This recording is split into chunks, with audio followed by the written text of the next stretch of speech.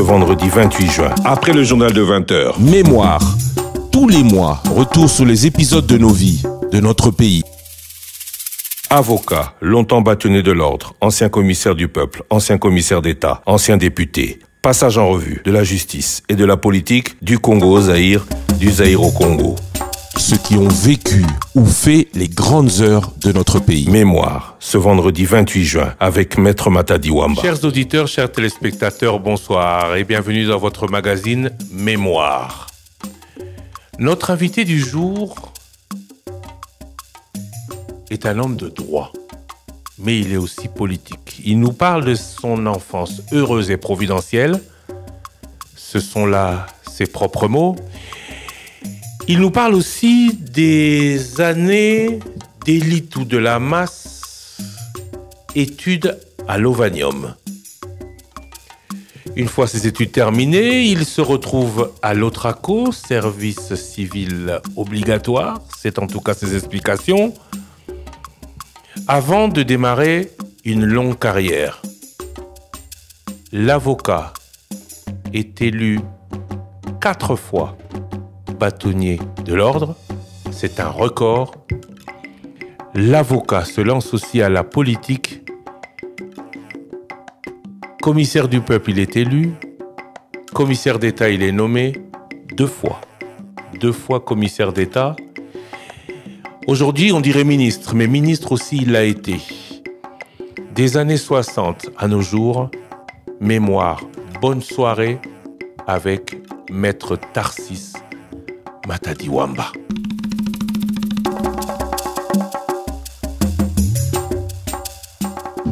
Maître Tarsis Gabriel Matadi Wamba, bonjour. Bonjour.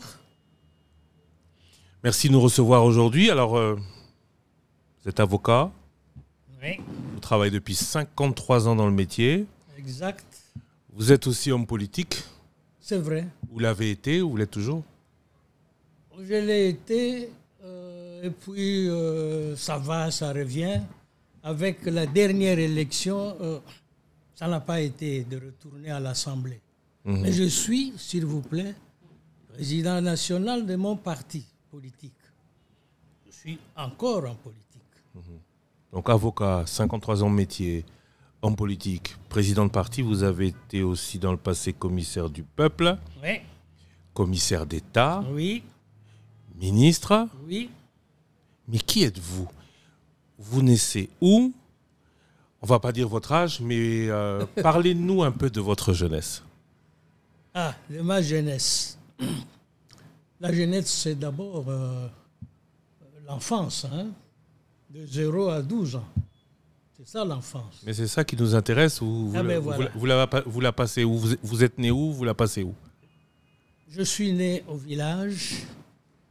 J'ai passé mon enfance au village, aux côtés de mes parents.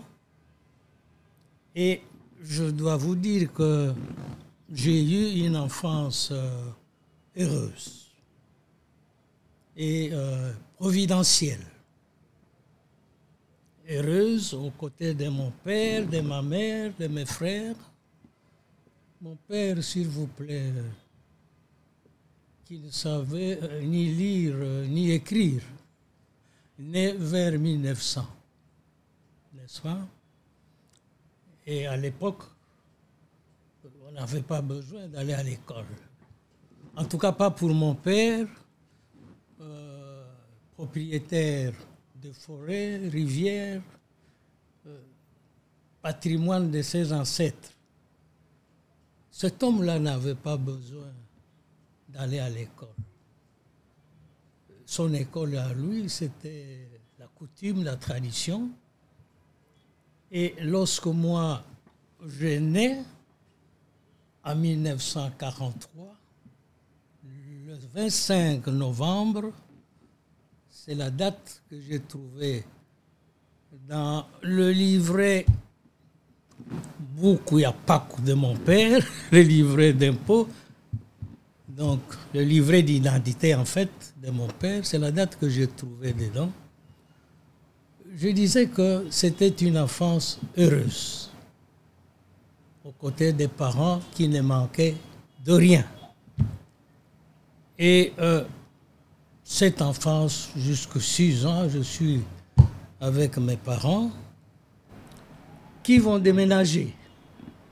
Parce que je suis né au nord de notre chefferie, la chefferie de Pelende, dans le territoire de Kenge, province du Congo. Je suis né au nord, où mon père est né aussi. Mais mon père, à un moment donné, il va retourner à ses origines, si vous voulez, au centre de la chefferie, à Kobo, qui est le chef-lieu de la chefferie, et au village Swakilembe, qui est euh, le village euh, du fils aîné du grand chef chez nous, le Kiamvo. C'est là euh, l'origine des ancêtres de mon père qui ont, sont allés au nord pour conquérir les territoires avant l'arrivée de la colonie.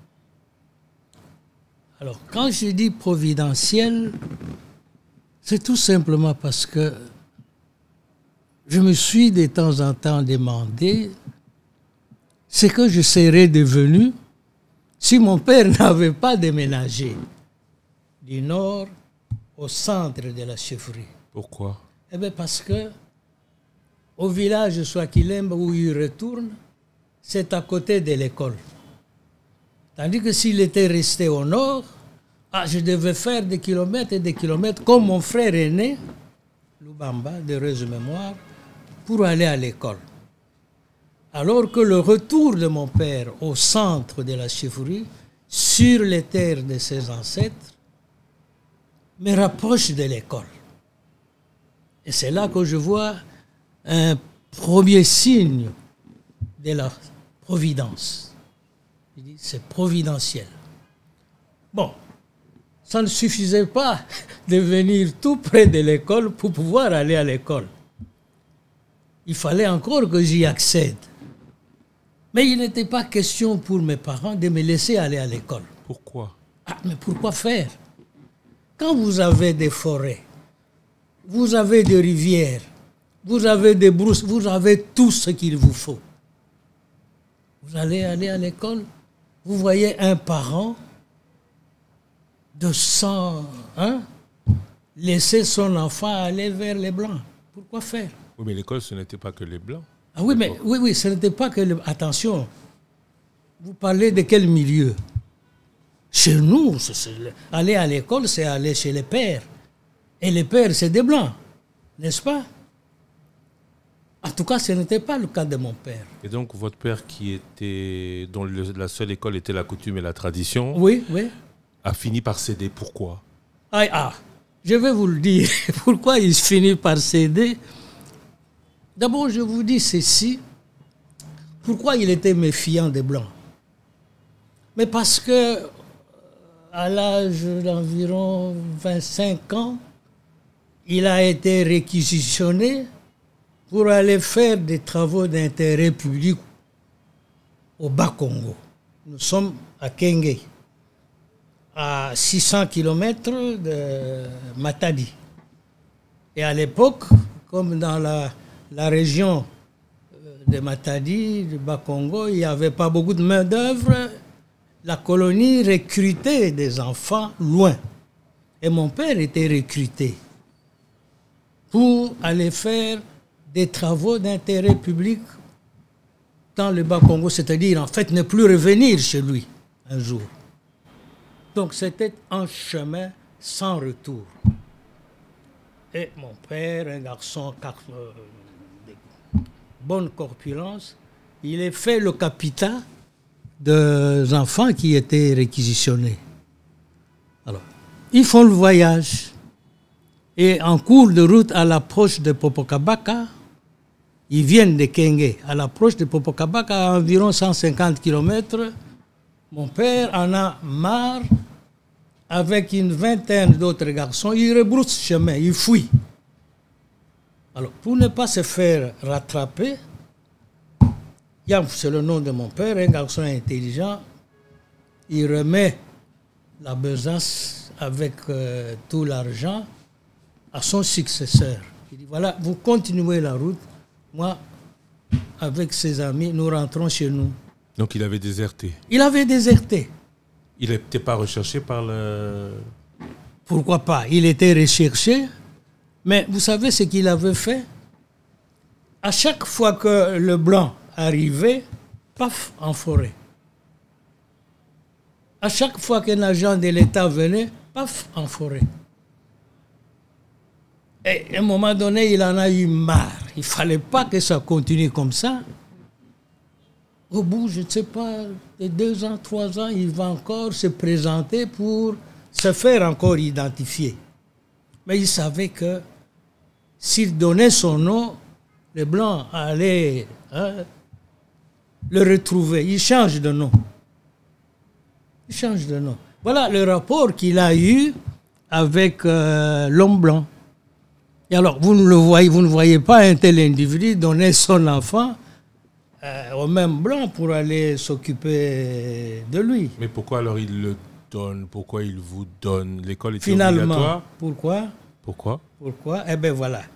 L'école en ce moment-là est entre les mains euh, d'un neveu à lui, euh, un certain Tsumi Félicien, qui m'a donné cours, et parce qu'il a supplié papa.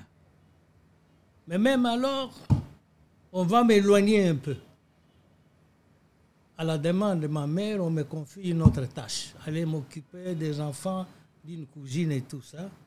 Et mon maître d'école, mon cousin, il va se plaindre auprès des missionnaires. Il a fallu l'insistance du père pour que mon père daigne finalement, de guerre lasse comme on dit, hein, céder l'enfant. Et Je suis rentré à l'école. Comment ça se passe à ce c'est moment que j'appelle Mhm. la providence. hein. Mhm. C'est- C'est tout cela. Oui. Comment ça se passe à ce moment-là? Des parents qui ne veulent pas que vous alliez à l'école, mais Oui. vous qui y, a- qui y allez. Quand vous rentriez à la maison, comment ça se passait? Quand je vais à l'école et quand je rentre à la maison, bon, je suis accueilli pendant les vacances. euh, Ah, vous étiez en, en internat? Euh, oui. Oui, oui, moi je n'ai connu que l'internat. Je n'ai connu que l'internat. Euh, encore que les parents sont à, à moins de 7-6 kilomètres. Mais on nous internait pour que l'école puisse avoir des enfants. Sinon, ce n'était pas possible. Sinon, ce n'était pas possible. Et alors, euh, nous d'ailleurs, pour l'anecdote si vous voulez, euh, l'école, pour mon cas, est séparée de la rivière Bakari, qu'il fallait traverser par bac. Il faut un bac pour traverser la rivière. Alors, il était interdit aux capitaines bac, hein, les passeurs, de traverser les élèves. Et alors, nous, qu'est-ce qu'on faisait? On a appris à nager. Moi, j'ai appris à nager dans un, dans un fleuve. Pour que, bon, euh, je puisse aller à la maison de temps en temps sans demander au passeur que je sois sur les bacs. Voilà. Quand je vous demande comment ça se passe, c'est euh, des parents qui rejettent tout, dont l'école, euh, la seule école est le- la coutume et la tradition. Oui. Euh, vous voyez en revenir avec une autre connaissance. Il n'y a pas un moment choc ou euh, euh, discordance entre vous et vos parents? Tout se passe toujours très bien? Tout se passe bien. Dès qu'ils m'ont lâché, l'école m'a pris. D'abord, à l'école rurale, c'est deux ans.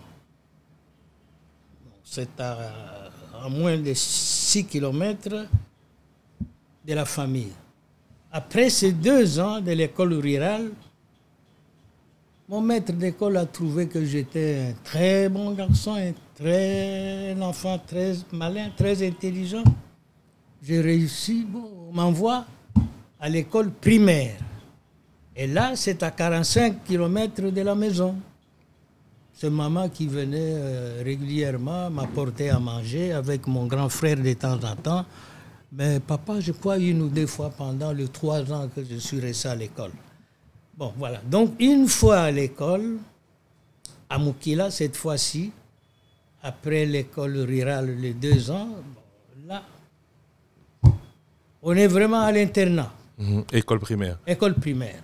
Et Troisième primaire, quatrième primaire, cinquième primaire, sixième primaire. sixième primaire. Je suis allé faire ça loin. Encore plus À loin. l'école secondaire, oui, à l'Impf. C'est là que j'ai terminé. Là, Si vous n'êtes plus au Congo central. Vous, vous n'êtes enfin, plus au, Congo au central, Kwango, ça vous passez au n'existait Congo central. Non, non, c'était le même diocèse. L'Info. L'Impfou, c'est dans le vicariat, aujourd'hui diocèse de Kisantu. Jusqu'à Popokabaka à l'époque. Oui. Kenge, tout ça, c'était tout était rattaché à les Kisantu. jésuites, les jésuites euh, de Kisantu. Parce que les jésuites avaient deux, deux vicariats, deux diocèses. Un diocèse entre les mains des jésuites euh, francophones, euh, un autre diocèse, celui de Kisantu, entre les mains des jésuites néerlandophones. Voilà comment, euh, quelle était la subdivision, si vous voulez, euh, ecclésiastique à l'époque. Il y en a qui étudient en flamand? Non, non, non, non, non, non, non, non. Ah. Parce que vous dites les jésuites néerlandophones. Ah ben néerlandophone parce que les pères étaient néerlandophones. Mais ils étudiaient, ils faisaient Tout, tout étudier, était ils en enseignaient français. en français. Hmm. Oui, oui, oui, sauf, bien sûr, avec le programme métropolitain, on a commencé à nous apprendre euh, le flamand. Le flamand était, le néerlandais était un cours. Alors, il y a l'école rurale, il y a l'école primaire. Oui, à Moukila. Euh, une fois que vous terminez l'école primaire, votre père vous récupère. Une vous fois que vous terminez l'école primaire, on sélectionne les enfants. Il y a un examen de passage qui est administré à tous les enfants et le tri se fait en fonction des points que l'enfant a obtenus. Ceux qui sont au-dessus de 65%, on les envoie faire les humanités. Pour mon cas, c'était à l'Infou. Pour d'autres élèves, c'était en Banzamboma. Pour d'autres encore, à Kisantu, à, à l'école, euh, euh, comment ça s'appelait? Donc, les humanités, les maths à Kisantu, les lettres pour euh, nous à l'Infou, à 30 km de Kisantu, les lettres pour les autres en Banzamboma. Et tout ça entre les mains des pères jésuites. Et là, vous quittez totalement le Congo. Vous Ah, mais oui. Vous, là, Ouais, au- bien sûr. Aujourd'hui, nous Oui. dire d'aller de, de, de Lemfou à, à, à, à- Kenge, c'est toute une expédition. Oui, oui, oui. Au- Avec l'obligation de passer par Kinshasa. À l'époque, la route Kinshasa-Kenge n'existait pas. C'est le tracé sud. Si vous êtes à Léopoldville, pour aller à Kenge, à l'époque, vous allez d'abord à Kisantu. Dès Kisantu, vous longez la frontière Angola, Congo, et vous entrerez euh, à l'intérieur du Congo, si vous voulez, à partir de Popokabaka, et vous descendez à Kenge. Vous continuez Kikwit, Chikapa, Kananga, euh, jusqu'à Elisabethville. Et on Et rappelle. la route était bonne. Mhm. On rappelle qu'à l'époque, le Kwango, le Kwilu et le Congo central, C'était- la même province. La province de Léopoldville. Mhm. La province de Léopoldville, oui. Et ça. donc, vous êtes retenu, vous allez à l'école secondaire. Oui, quand je termine à, à mon À école primaire à l'Info, on fait l'examen. Euh, je n'avais pas choisi d'aller à l'Info pour faire les humanités. Je me disais, Ah, non, moi je vais faire l'école normale, l'école des moniteurs. Pour enseigner. C'est ce que j'ai. On venait d'ouvrir euh, à, Imbela dans Popokabaka. Mhm. Alors j'ai été engueulé par le, le- le frère recteur, le frère euh, directeur, le frère Clément Ilunga. En disant, mais tu t'es trompé, intelligent, comment tu vas? Il faut changer, tu t'es trompé. C'est alors que j'ai mis mon petit séminaire et tout ça. Je suis allé au petit séminaire Pour de devenir, pour devenir euh, abbé. pour devenir abbé, pour devenir prêtre. Mais ça ne va pas traîner, hein. Ça ne va pas traîner. Je- je- par- je vous- je- je- le, fait que vous ne soyez pas prête n'est pas ma, ma- ma- ma- question principale. Non. À ce moment-là, vous, votre ambition, vous avez terminé le- l'école euh, primaire. Ouais. Votre ambition, vous, c'est de devenir quoi? Quels sont vos modèles? Vous rêvez d'être comme qui? Et, de, et de faire quoi comme études À cet âge-là, je dois vous dire que c'était flou pour moi. Je ne voyais pas euh, ce que je devais devenir dans la vie. Je ne voyais pas. Ni prêtre, ni quoi que ce soit, je ne voyais pas. Mais bon, je voyais les maîtres, hein, les enseignants. C'est comme ça que j'ai choisi d'aller à l'école des moniteurs. Mais en raison de, de la cote que j'ai eue, bon, j'ai eu l'engueulade du directeur de l'école qui me dit non, non, non, non, non, toi tu t'es trompé, c'est pas là-bas, tu dois faire autre chose. Et, et- et j'ai été orienté vers le petit séminaire. Et là, les parents disent quoi? Oh, les parents, est-ce qu'on les a interrogés? Personne, ils m'avaient déjà lâché. Oublié ou lâché? Lâché, lâché. Et le, le- le papa de coutume et de tradition ne voit pas d'un mauvais œil l'enfant qui va trop loin, qui apprend la science des En blancs. tout cas, il n'avait plus prise sur moi, n'est-ce pas? Il m'a laissé partir. Il avait encore euh, un enfant. Nous sommes nés à quatre. Trois garçons et une fille. Le deuxième était toujours avec les parents. La troisième, avec la fille, était toujours avec les parents. L'aîné, un certain Lubamba, paix à son âme, dont mon fils euh, euh, porte euh, le nom, l'aîné Lubamba a raté sa scolarité à cause du déménagement. Papa quitte le nord, Pour aller au sud. vient au centre et en pleine année scolaire. Ce qui fait que son fils Lubamba, l'aîné, rate la scolarité à cause de ce mé- déménagement-là. Lorsque cet enfant va à Moukila pour se faire, il vous dit non, non, non, ce bouclé, c'est terminé, on ne peut plus te prendre. Que fait le jeune homme? Léopoldville. Il vient à Léopoldville, à pied, chercher du travail. L'école à ce moment-là n'était pas obligatoire. Le, le cours n'était pas obligatoire. En tout cas, il, il n'avait plus rien à faire. Et, et alors, quand je disais providentiel, mais quand mon grand frère vient à Léopoldville, c'est grâce à lui que je vais être stabilisé à l'école. Ah bon? Il va envoyer un vélo. Et c'est son, c'est son puits né, à peine, qui me transportait à l'école. Parce qu'on est à 45 km. Et avec le vélo, il m'apportait aussi à manger. Vous voyez? Alors, lui tenait à ce que Gabriel étudie.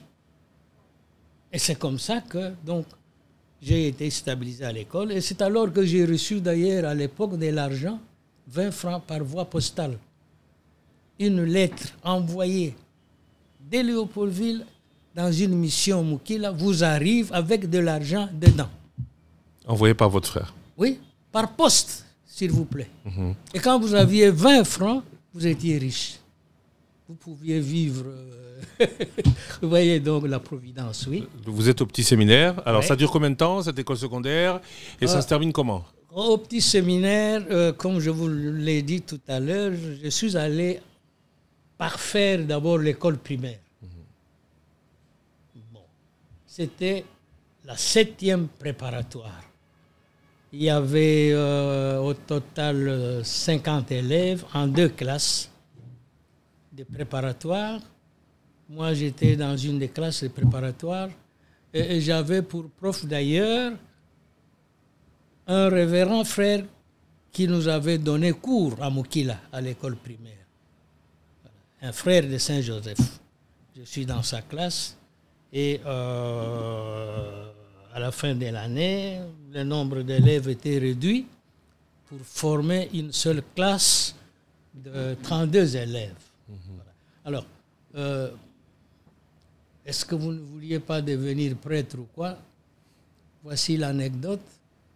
Nous, euh, on ne rentrait pas à Noël, à Pâques, au village chez les parents. Ça n'existait pas à cause de la distance. Hein, Les enfants venus du Congo, les enfants venus du diocèse de, de Ingende ou quoi dans euh, la province euh, de l'Équateur, parce que les pères envoyaient aussi, de, l'Équateur, envoyaient leurs enfants à l'Infou. Nous restions euh, au petit séminaire à Noël et à Pâques. Alors il se fait que pendant les vacances de Noël ou de Pâques, moi je me suis battu avec euh, un collègue, un ami, qui venait de Mukila. Et je lui avais lancé euh, un projectile. À la fin de l'année, je dis au père, recteur, révérend père, moi c'est fini. Le père, la photo est là, le père Poulmans. Il dit non. Père, moi, je ne veux plus rester ici, au petit séminaire. Alors le père dit, Tarsis, votre classe est faible. Je ne peux pas la couper de sa tête. Le deuxième élève aux examens de fin d'année, Tatanene, futur euh, ambassadeur du Congo à Washington, il est encore là d'ailleurs, il n'est plus ambassadeur. Je l'ai autorisé à quitter le petit séminaire. Deuxième, toi le premier de la classe, si tu pars, pour une classe faible, ça ne va pas. Pour l'intérêt de la classe, tu restes ici. Je m'en fous. C'est comme ça qu'il parlait, c'est un flamand, que tu deviennes prêtre ou pas, mais tu dois respecter la discipline. Dans l'intérêt de la classe, tu restes ici. Et je suis resté au petit séminaire, euh, comme le père me l'avait demandé. Et, et- de 32 élèves que nous étions, 6, 6 sont arrivés en dernière année. Dernière année qui est la quatrième à ce moment-là. Non, la dernière année, c'est la rhétorique. La rhétorique. La sixième à ce moment-là, toujours. Oui, aujourd'hui, sixième des humanités. Euh, la rhétorique, nous sommes arrivés à six. Euh, deux sont allés au grand séminaire. Deux sont devenus prêtres. Et les autres, bon, n'ont pas pu. Moi, j'ai vu mon évêque. À ce moment-là, nous sommes dans le diocèse de, de Kenge. Ce n'est plus Kisantu, ce n'est plus Popo, mais on a pris un morceau de Kisantu, un morceau du Kwilu, un morceau du lac pour créer euh, l'actuel diocèse de, de Kenge. Je suis allé voir mon évêque euh, pour lui dire que je n'allais pas au grand séminaire et tout. Et Monseigneur Ounen euh, de s'exclamer, Ah, Comment Si tu avais continué, tu serais un jour cardinal. J'ai dit au père, mais c'est pas trop tard, revenez à la formule des cardinaux laïcs. Comme ça, le père a éclaté de rire. C'était Monseigneur Ounen, hein Oui, c'est ça.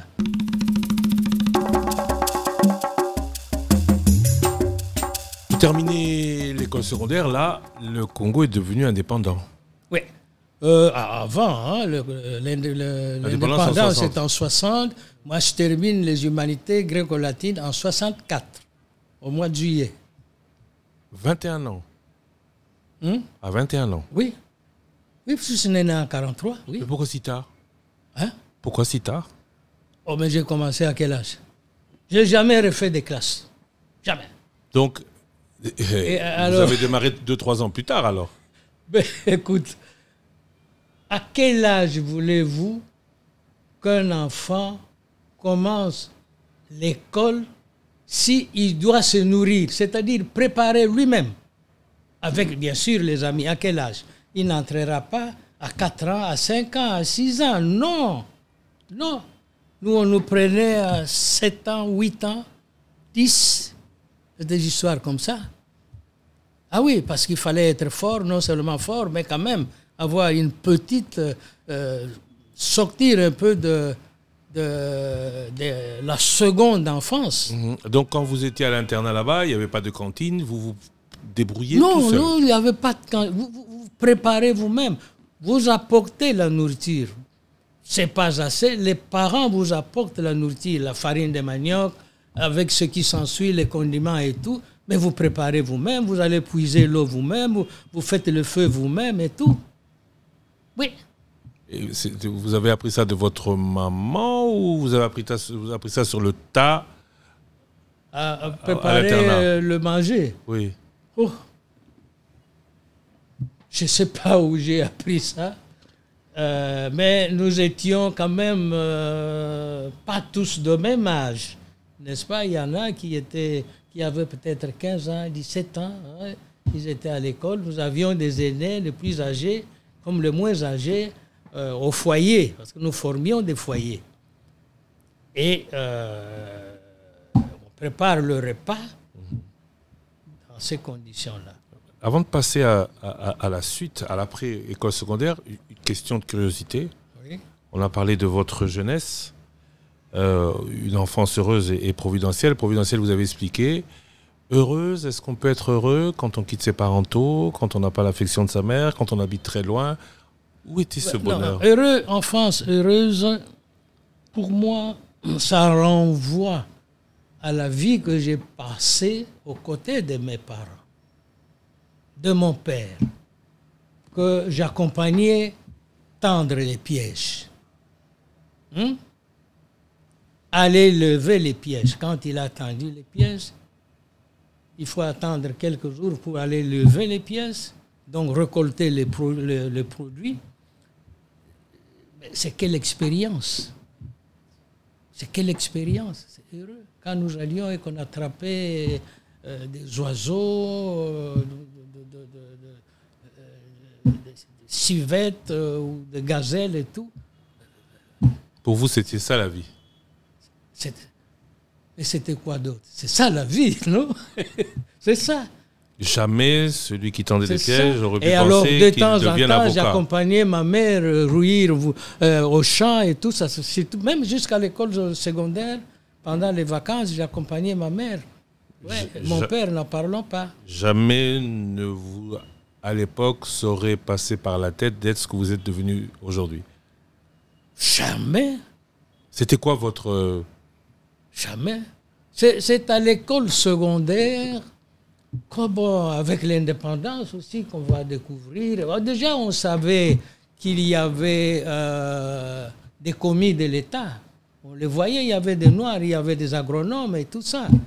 Mais bon, pff, ça, je ne sais pas, ils sont venus d'où, ils travaillent là. et ne- les nôtres, il n'y en avait pas, c'est des enfants, de- c'est des greffiers, c'est des commis qui venaient d'ailleurs.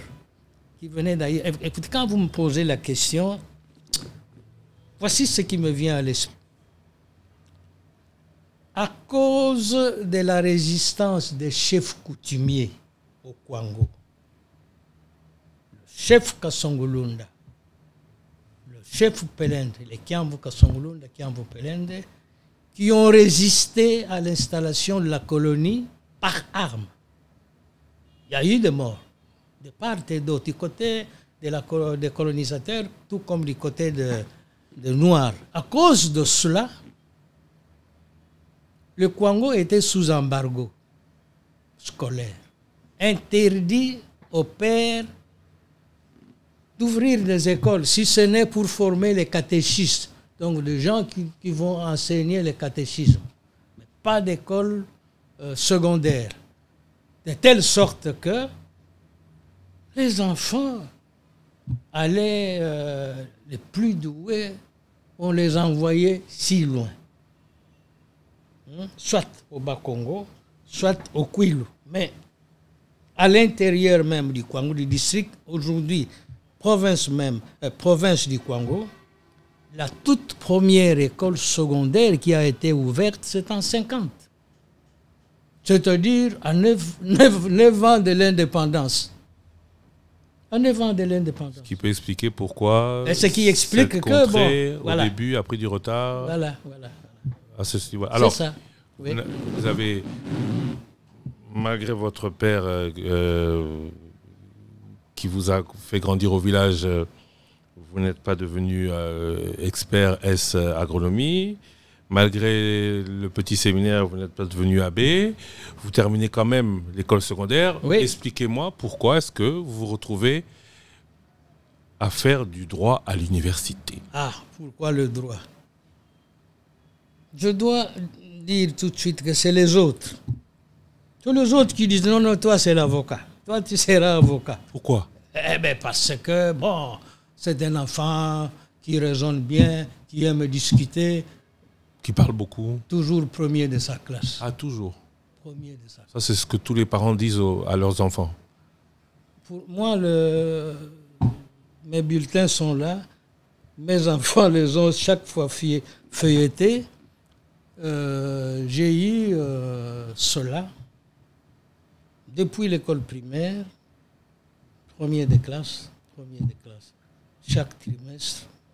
Je vais à l'école secondaire, c'était la même chose. Pourquoi droit, pourquoi pas économie, pourquoi pas Bon, philosophie, pourquoi, pourquoi, droit pas... Voilà, je crois que c'est ça. Pourquoi droit Bon, voilà. Écoutez, euh, quand euh, on jouait des pièces de théâtre, on me réservait toujours le rôle le plus important. Et euh, pourquoi pas économie, pourquoi pas euh, euh, médecine? J'avais des raisons propres, par exemple, de ne pas faire médecine. Parce Ah, que vous moi, je ne saurais pas ouvrir le ventre de quelqu'un. Ah, c'est pas votre, dû, dû à votre cursus littéraire plutôt que scientifique. Non, non, non. Là, c'est vraiment une question de goût, une question de tempérament. Je dis non, non, non. Je ne saurais pas couper. Bon, voilà. Je voulais faire euh, les ingénieurs, mais je ne voyais pas trop bien ce que c'est. Et puis bon, je dis non, je vais faire le droit. Je vais faire le droit. Et bon, j'ai entamé le droit à Lovanium. Vous entrez à Lovanium en 1964. euh, alors, euh, j'ai eu, grâce à vous et nos téléspectateurs qui nous suivent sur YouTube, voient ces pages riches des euh, lauréats de ces années-là. Vous arrivez en 64, alors que maître Gérard Kamanda Wakamanda, paix à et maître Ndoudi Doudi termine. Oui. Euh, vous vous entrez à ce moment-là pour Ah, un cursus de 4 ans. Oui. On faisait le bac, c'était le programme. Donc en fait, pour entrer à la faculté de droit, il fallait, il fallait passer par euh, la, la faculté de philosophie et lettres, si vous voulez, pour faire le baccalauréat en philosophie et lettres. Préparatoire au droit. C'était ça l'appellation exacte. Euh, baccalauréat en philosophie et droit euh, et lettres préparatoire au droit. Quand vous réussissez, alors vous entrez à la faculté de droit pour faire première licence, deuxième licence et troisième licence, vous êtes sorti. Bac, c'est deux ans. Pardon? Le bac, c'est, on va Le dire, l'équivalent. c'est une année. Une année. Une année. Le bac, c'est une année. Comment ça se passe à ce moment-là, euh, du secondaire au bac, en passant par le droit? Pour vous, c'est des matières nouvelles qui se rapprochent pas vraiment à votre quotidien précédent ou passé? Euh, comment se passent ces études? Alors là, vous n'êtes même plus à- au Congo central ou euh, dans la province de Léopoldville. Oui. Vous êtes à Léopoldville. Oui. Vous êtes le villageois, parce Oui. qu'à ce moment-là, je sais qu'il y avait beaucoup de ces bagarres-là. Comment se passe votre euh, arrivée à Kinshasa? Comment se passe votre nouvelle vie dans la capitale?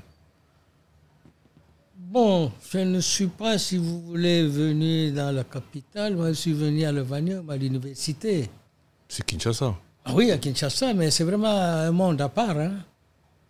Euh, on vous envoyait votre inscription, vous faisiez la demande, on vous envoie votre inscription. Hmm.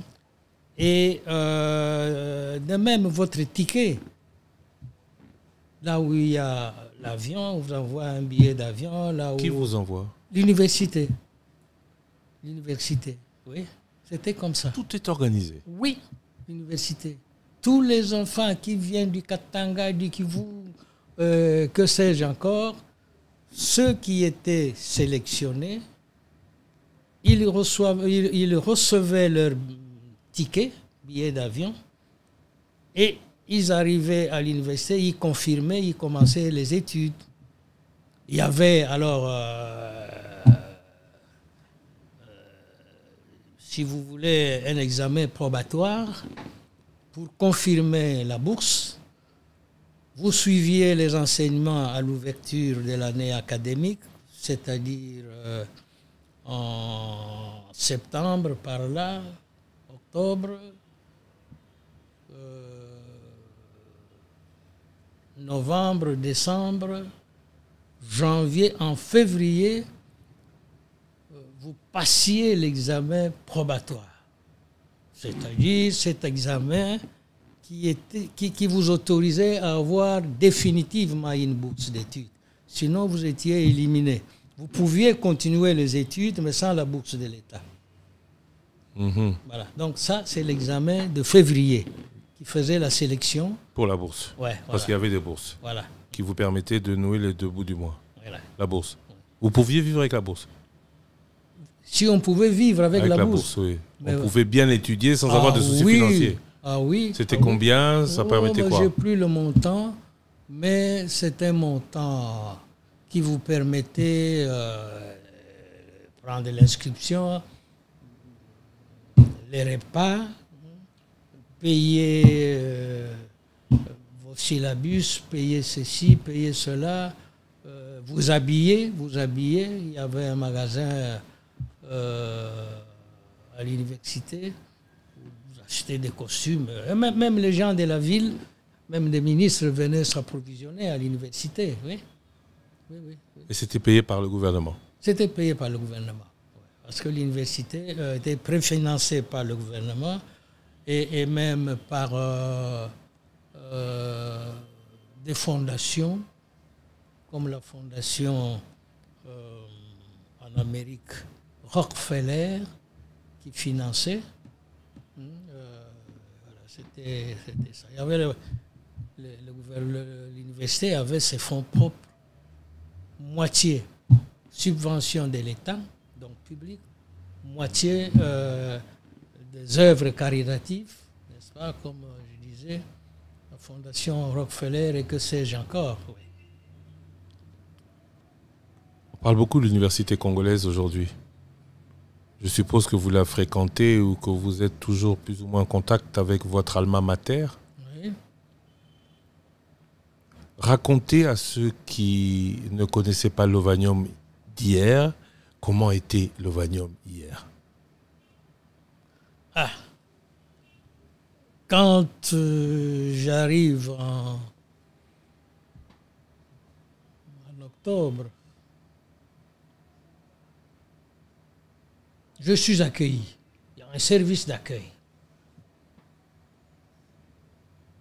qui vous fait remplir un tas de paperasses. Permettez-moi d'appeler ça comme cela. Vous devez remplir des papiers pour demander la bourse, pour demander ceci, pour demander cela.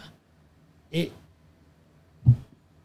on vous loge dans une chambre. Seul. seul ou à deux.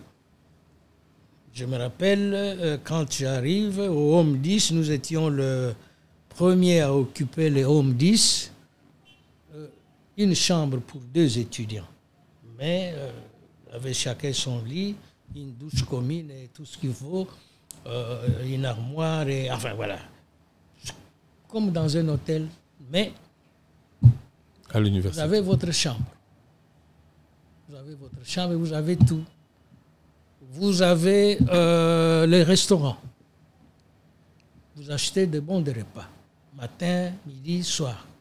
Ah, c'est plus vous qui préparez comme à l'internat. Non, non, non, non, non. Là, c'est- il y a un restaurant euh, qui n'avait pas envié à un restaurant euh, ici en ville. Les gens venaient, je vous dis même des ministres ou quoi, qui venaient parfois voir des gens et manger là-bas. Non, Nourriture locale ou- nourriture comme dans un restaurant, euh,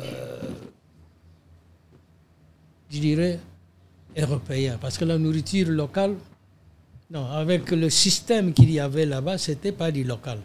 C'est un restaurant avec des repas variés. Et alors, euh, ça c'est du côté, si vous voulez, commodité. Mais vous aviez aussi euh, les loisirs. On avait un terrain de football, on avait une piscine, vous aviez euh, toutes sortes de sports, le judo et tout. Une vie organisée pour l'enseignement.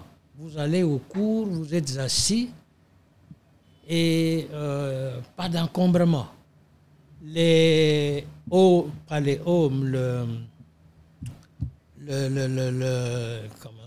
les amphithéâtres. Les amphithéâtres étaient conçus pour un nombre d'étudiants normal.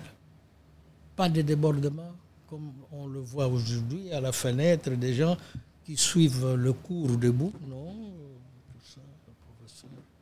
La- du, coup, du coup, la, quali- la qualité de l'enseignement était bonne. était euh, bonne, était normale, était normale. Les euh, paramètres, les standards, les standards, voilà le terme. euh, L'université catholique tenait à ce que ce soit le standard international. En termes de niveau, je vois que, et euh, ceux qui nous regardent sur YouTube le voient maintenant, Oui. qu'il y a eu beaucoup de diplômés congolais, Oui. mais pas que. Il y avait aussi des diplômés des étrangers. des étrangers, Il y nombreux. avait beaucoup de Belges, beaucoup, Pourquoi? euh, Burundais, beaucoup Rwandais de Rwandais, beaucoup, Africains en règle générale. euh, beaucoup de Nigérians. Le Nigérian, Pourquoi? Le Nigeria euh, connaît, en, du moins à mon époque, à notre époque, la sécession du Biafra. Mhm. Et le Biafra, c'est euh, les catholiques. Le nord, c'est les musulmans. Au sud. Eh bien, Oui, au nord. les- le, le- le Sud, avec les catholiques du Biafra, Mhm. envoyaient leurs enfants au Congo. Pourquoi au Congo? Mais ils, ils venaient étudier parce qu'il y avait un enseignement valable. Ils ne voulaient pas, moi je sais pas, ils voulaient pas que euh, les enfants aillent étudier en pays musulman, peut-être. Nous avions des Soudanais, je me rappelle, hein, comme euh, Maître Maillard, à Con, qui était avec nous, Soudanais et tout. Alors, je disais que euh, euh, euh, l'université tenait au standard international. Je me rappelle euh, du discours euh, de rentrée académique, si je ne m'abuse, en 65 ou 66, de Monseigneur euh, Gillon, le recteur, qui a répondu à une attaque, si vous voulez, de la ville, hein, du gouvernement. Mais pourquoi vous ne formez pas beaucoup de cadres et tout? Monseigneur Gillon a répondu à ça. Il dit, mais nous devons former les universitaires, les cadres, en fonction des besoins du pays. En fonction des besoins du pays. Parce que si un diplômé de l'université ne trouve pas du travail, chôme, la conséquence, c'est quoi? C'est que le diplôme perd de sa valeur.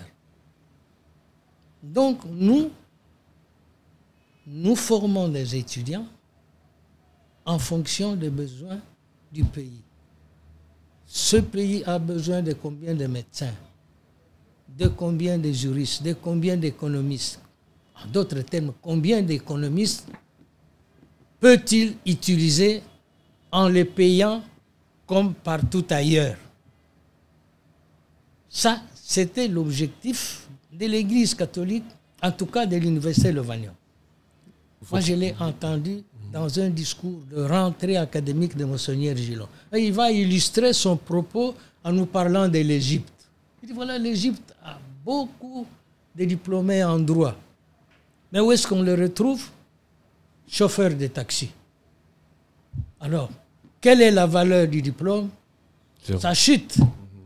Voilà donc. Alors là, c'était la guerre. Bon, il y avait, il y avait aussi, ça me rappelle aussi quand même le comportement de certains profs. Hein, Je me rappelle de notre professeur euh, euh, Du bruit. de l'économie, Mhm. non, le, le droit Droit commercial. commercial. Le droit commercial. Euh, Marcel Dubru, quand il avait pris son verre ce jour-là, eh ben, il dit, mais vous, vous voulez qu'on vous diplôme nombreux, hein? et, et nous et nos enfants, où est-ce que nous allons travailler? C'est un Belge qui dit ça. Parce qu'à ce moment-là, c'est vrai qu'on sort de la colonie, c'est encore les Belges qui travaillent. Oui. Tous les professeurs de l'université à Lovanium, à ce À moment-là, sont encore belges. 99%, il y avait, à ma connaissance, deux Noirs ou trois. Congolais. Oui, Congolais, oui. Oui. Les autres, c'était des Belges. Donc les Belges euh, n'avaient pas intérêt à former euh, Beaucoup trop. d'homologues congolais parce que euh, nous et nos enfants, où est-ce que nous allons travailler? Ils nous le, ils nous le disaient. bon. Comme ça. hein. Et ça, c'est ce qui explique donc, hein, on serrait, on serrait beaucoup le- l'enfant noir hein, sous prétexte est-ce qu'ils sont capables d'assimiler les notions abstraites, les noirs et tout. Mais bon, ces enfants-là, quand ils sautaient ici, ils étaient busés, donc euh, recalés, retoqués aux examens. Ils allaient ailleurs en Belgique, ils revenaient avec des grandes distinctions. Donc le niveau était très bon, Allez, oui, malgré tout ici, oui, oui, oui. mais on calait les Congolais oui. parce qu'on Pour, voulait pour pas. sauver, c'est un marché d'emploi. L'enseignement, c'est un marché d'emploi. Alors, vous voulez diplômer beaucoup de gens, mais vous sciez en quelque sorte la planche sur laquelle vous êtes assis. C'est ça. Quant à l'enseignement, parlons un peu de l'enseignement. Oui. Vous êtes très en contact, euh, je le sais, avec euh, l'université. Si vous deviez comparer l'enseignement d'hier et d'aujourd'hui, hier, on ne voulait pas former trop, mais aujourd'hui, on veut en former encore plus. Et pas forcément selon les besoins du pays. Quelle différence pouvez-vous faire entre hier et aujourd'hui? Mais voilà. C'est euh, la fameuse euh, enseignement élitiste ou enseignement de masse. Faut-il former des élites ou au contraire former euh, pour le peuple C'est toute la question. C'est toute la question, n'est-ce pas? Euh, Quand le pays accède à l'indépendance, il y avait des disparités. Il y avait des provinces défavorisées du point de vue de l'enseignement. D'autres, hein, comme Léopoldville, euh, comme un peu le Katanga, hein, avaient un taux de scolarité élevé. Et euh, il s'est fait que la province d'origine euh, du maréchal, du chef de l'État, était quelque peu défavorisée. Je vous ai dit que, par exemple, euh, les pères envoyaient des élèves au Bas-Congo venir faire le petit séminaire. Pour quelles raisons Mais parce que le nombre d'enfants pour faire une classe était insuffisant. Et alors, on les envoyait ailleurs. C'est des, des- des- des histoires comme ça. C'est ce qui a poussé le président Mobutu à l'époque à Et alors, à étatiser l'université. à, à l'époque, oui, cela a joué pour euh, étatiser. Ce n'était pas la raison unique, mais c'était une des raisons. Étatiser, c'est d'abord, si vous voulez, pour euh, euh, écarter, écarter euh, la contestation estudiantine. Le régime avait peur de ça. La contestation estudiantine. Parce que euh, ça pouvait venir de là. Bon. Mais comment on va étatiser? C'est là que, euh, bon, on dit, ah non, bon voilà, telle province est sous-représentée euh, du point de vue des diplômés. Eh bien, il faut lui réserver un quota. En ce moment-là, euh, les critères ne sont plus les mêmes. Vous voyez, les critères ne sont plus les mêmes. Et on ne peut pas être, euh, avoir moins de 50% et être diplômé parce qu'on est d'une province qui n'est Mais, pas mais voilà, voilà. On Hein? peut, Non, non, on ne peut pas. mais on l'a fait. Mais, mais on l'a fait la volonté politique. La volonté politique pour euh, rattraper, rattraper le retard. Alors que ça devait venir de soi un jour. Hmm, Ça devait venir de soi un jour, mais non, on précipite les choses. Euh, un étudiant qui n'a pas euh, réussi, on le récupère pour euh, faire en sorte que euh, la province d'origine euh, rattrape le retard. C'est une, une manière, à mon avis, euh, maladroite, euh, antidém- antidémocratique, non, euh, anticonstitutionnelle, peut-être qu'il faut le dire, hein, de résoudre ces problèmes-là de retard. hein, voilà.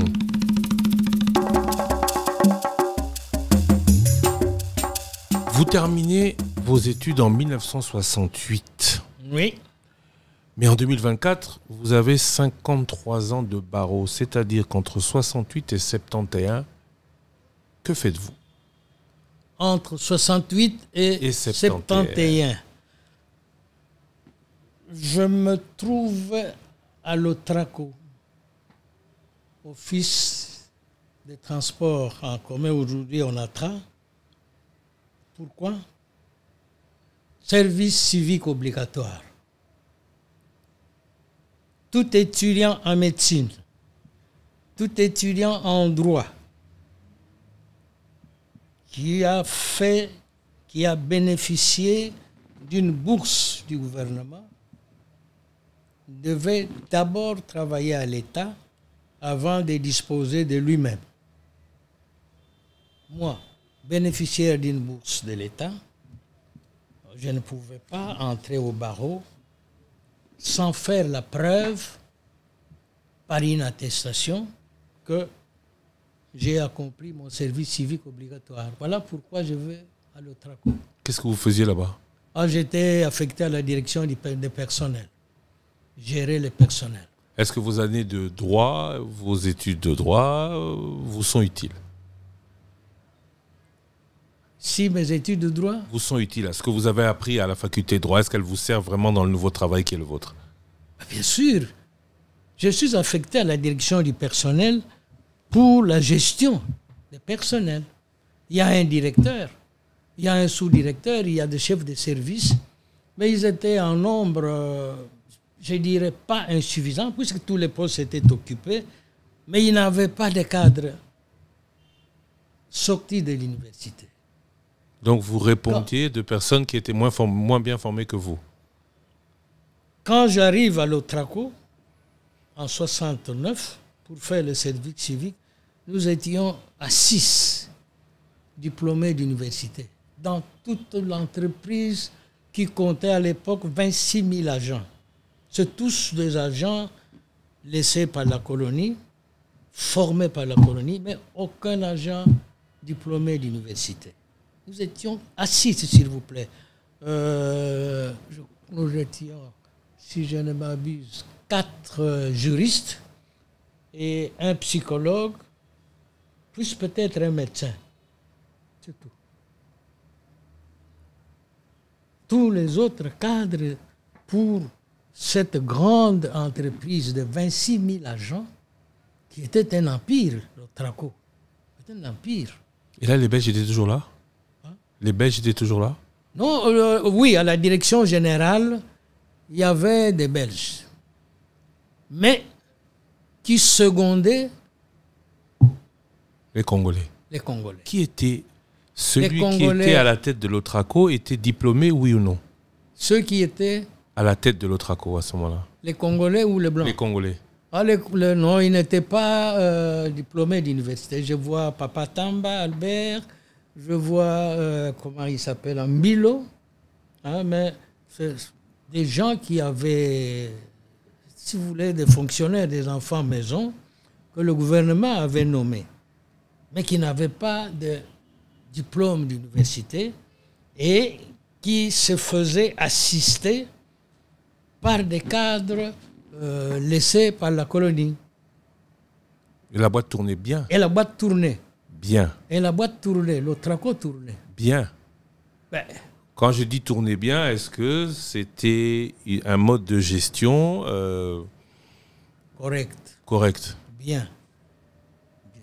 Quand j'arrive à l'Otraco, pour faire mon service, au sixième mois, j'avais une voiture. J'étais déjà logé dès l'engagement. J'ai une voiture Datsun à crédit. Bon, il y avait beaucoup de facilité. Il y avait, je me rappellerai toujours de mon premier salaire. 180 dollars. 180 Francs. euh, Zahir, Zahir. Attends, On est en 68. Le Zaïre n'existe pas déjà. Les Zahir, les Zahir. En 60. 69.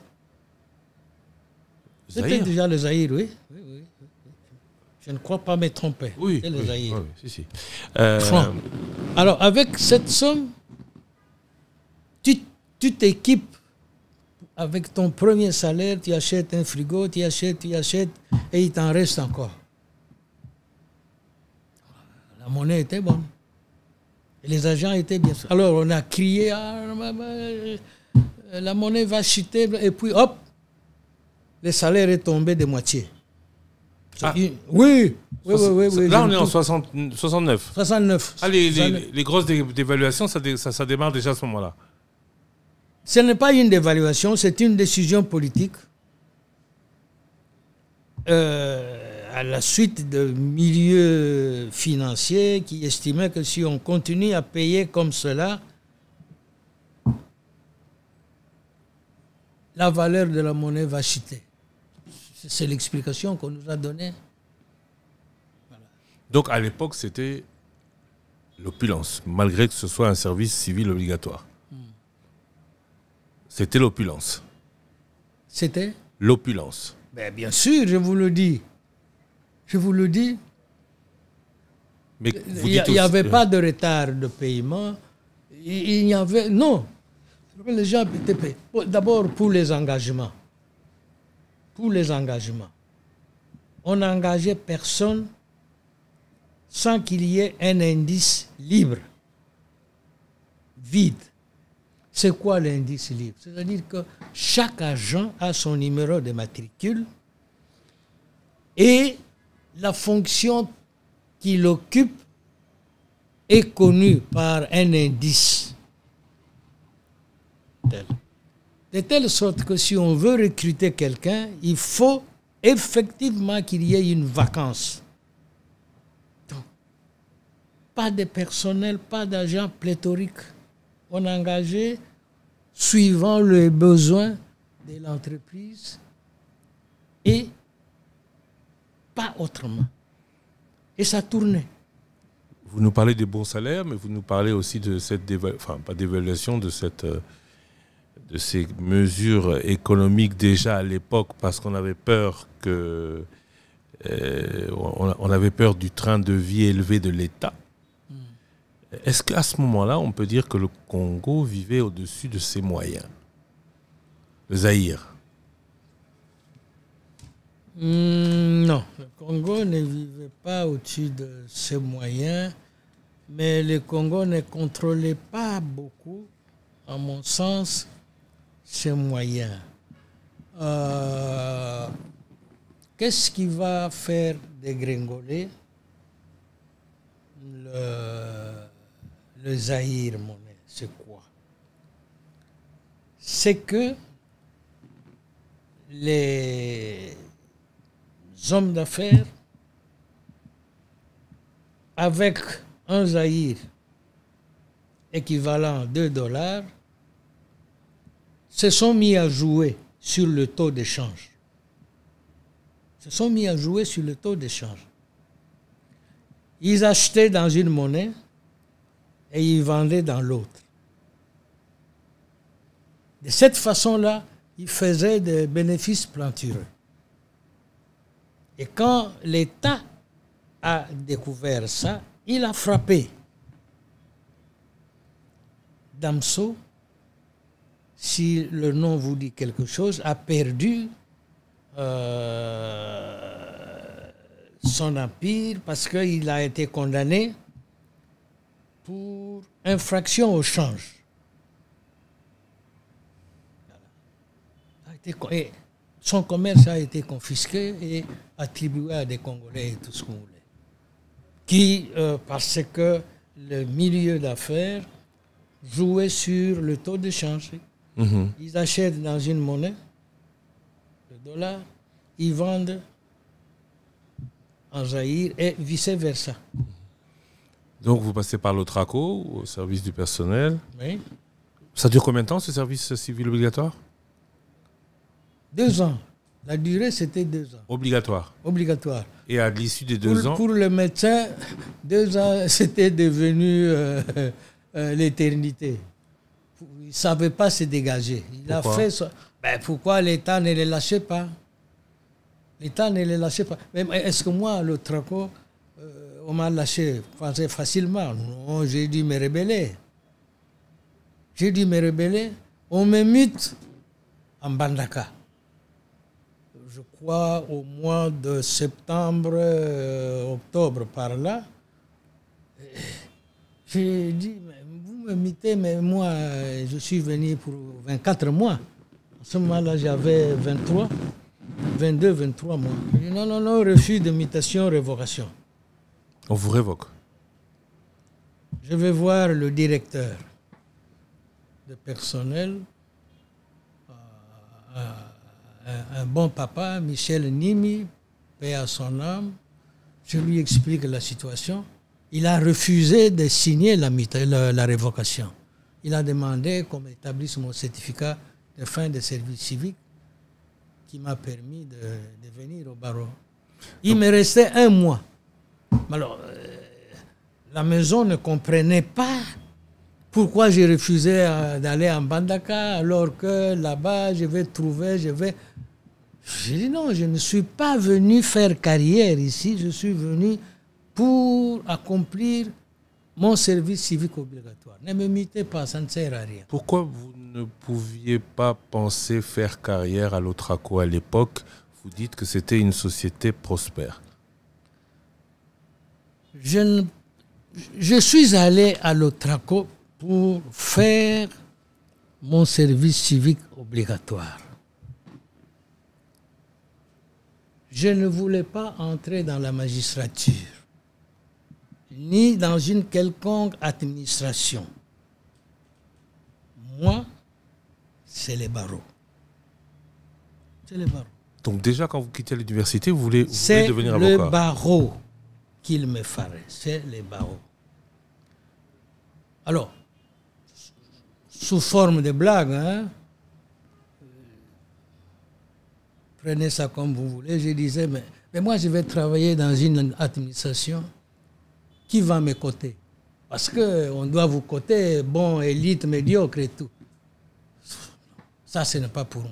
Parce que ceux qui étaient au-dessus de vous n'avaient pas le, le Ah, même non, niveau bah, que bah, vous. bah, bah, ne me le faites pas dire, mais c'est comme ça que je voyais les choses. Comme ça, moi, je voyais les choses. On vous cote, bon, élite, très bien, médiocre. Oui, mais ça, vous étiez formé, vous étiez juge, Non, non, coté je, sur des ça, résultats. n'a- je n'acceptais pas. Je n'acceptais pas. À l'époque, vous avez- il existait déjà le, le complexe du diplômé par rapport aux autres? Je ne sais pas si c'est le complexe du diplômé, mais c'est peut-être euh, le complexe d'un enfant euh, qui a été chaque fois encensé à l'école. Vous êtes très intelligent, vous êtes élite et tout ça, ce qui ne se démentait pas. Et euh, bon, si vous voulez, en tout cas, dans ma nature, je dis non, je préfère les barreaux. Même quand je suis entré au barreau, ma femme me dit, mais comment nous allons vivre? J'ai dit, Marie, arrête-toi, on verra. C'est la vie de combat. Et le combat judiciaire. Vous faites revenir sur vos études universitaires. Euh, on parle de six universitaires à l'indépendance. Euh, en 70, vous n'étiez pas 1000. Euh, comment ces universitaires se comportaient ou que pensaient-ils du Congo en règle générale, eux qui, au moins au niveau de la formation, en savaient plus que les autres Qu'est-ce qu'ils pensaient? Oh. Ben, Ils pensaient servir leur pays. hein. Qu'est-ce qu'ils pensaient des autres? Qu'est-ce qu'ils pensaient des autres? Mais les autres, euh, d'abord les autres, ceux qui étaient au pouvoir, euh, euh, les considéraient comme des orgueilleux parce qu'il a fait le vanium, parce qu'il a, ouais, ça, ça faisait un peu ça. Alors eux qui ont fait le vanium, qu'est-ce qu'ils pensaient des autres? Ah, Que voulez-vous que je vous dise? Ceux qui ont fait les études universitaires, ils n'étaient pas nombreux en 60. Hein? C'était une très petite élite. Très petite élite. Très peu de gens. Ils n'étaient pas nombreux. Ils savaient que la colonie les avait préparés pour diriger le pays. C'est eux qui devaient diriger le pays. Quand l'indépendance les surprend, bon, Ils n'étaient que six. ils ne sont pas aux commandes. Ils sont pas nombreux. Ils ne sont pas nombreux. Ils ne sont pas aux commandes. Comment se serait-il comporté si l'un d'eux était aux commandes? Je sais pas. Mais ils ne sont pas aux commandes. En 60, nous savons qui était au pouvoir. Et quand le président euh, euh, Kassabou perd la fonction, c'est un militaire qui arrive, et nous savons comment ils se sont comportés. Écoutez, vous me faites euh, penser à l'entourage du colonel Mobutu, hein, qui avait à ses côtés un commandant, Gérard, qui avait à ses côtés un, comme ministre de, de, de, de l'intérieur, non, de, la justice. de- des Affaires étrangères, euh, notre voisin.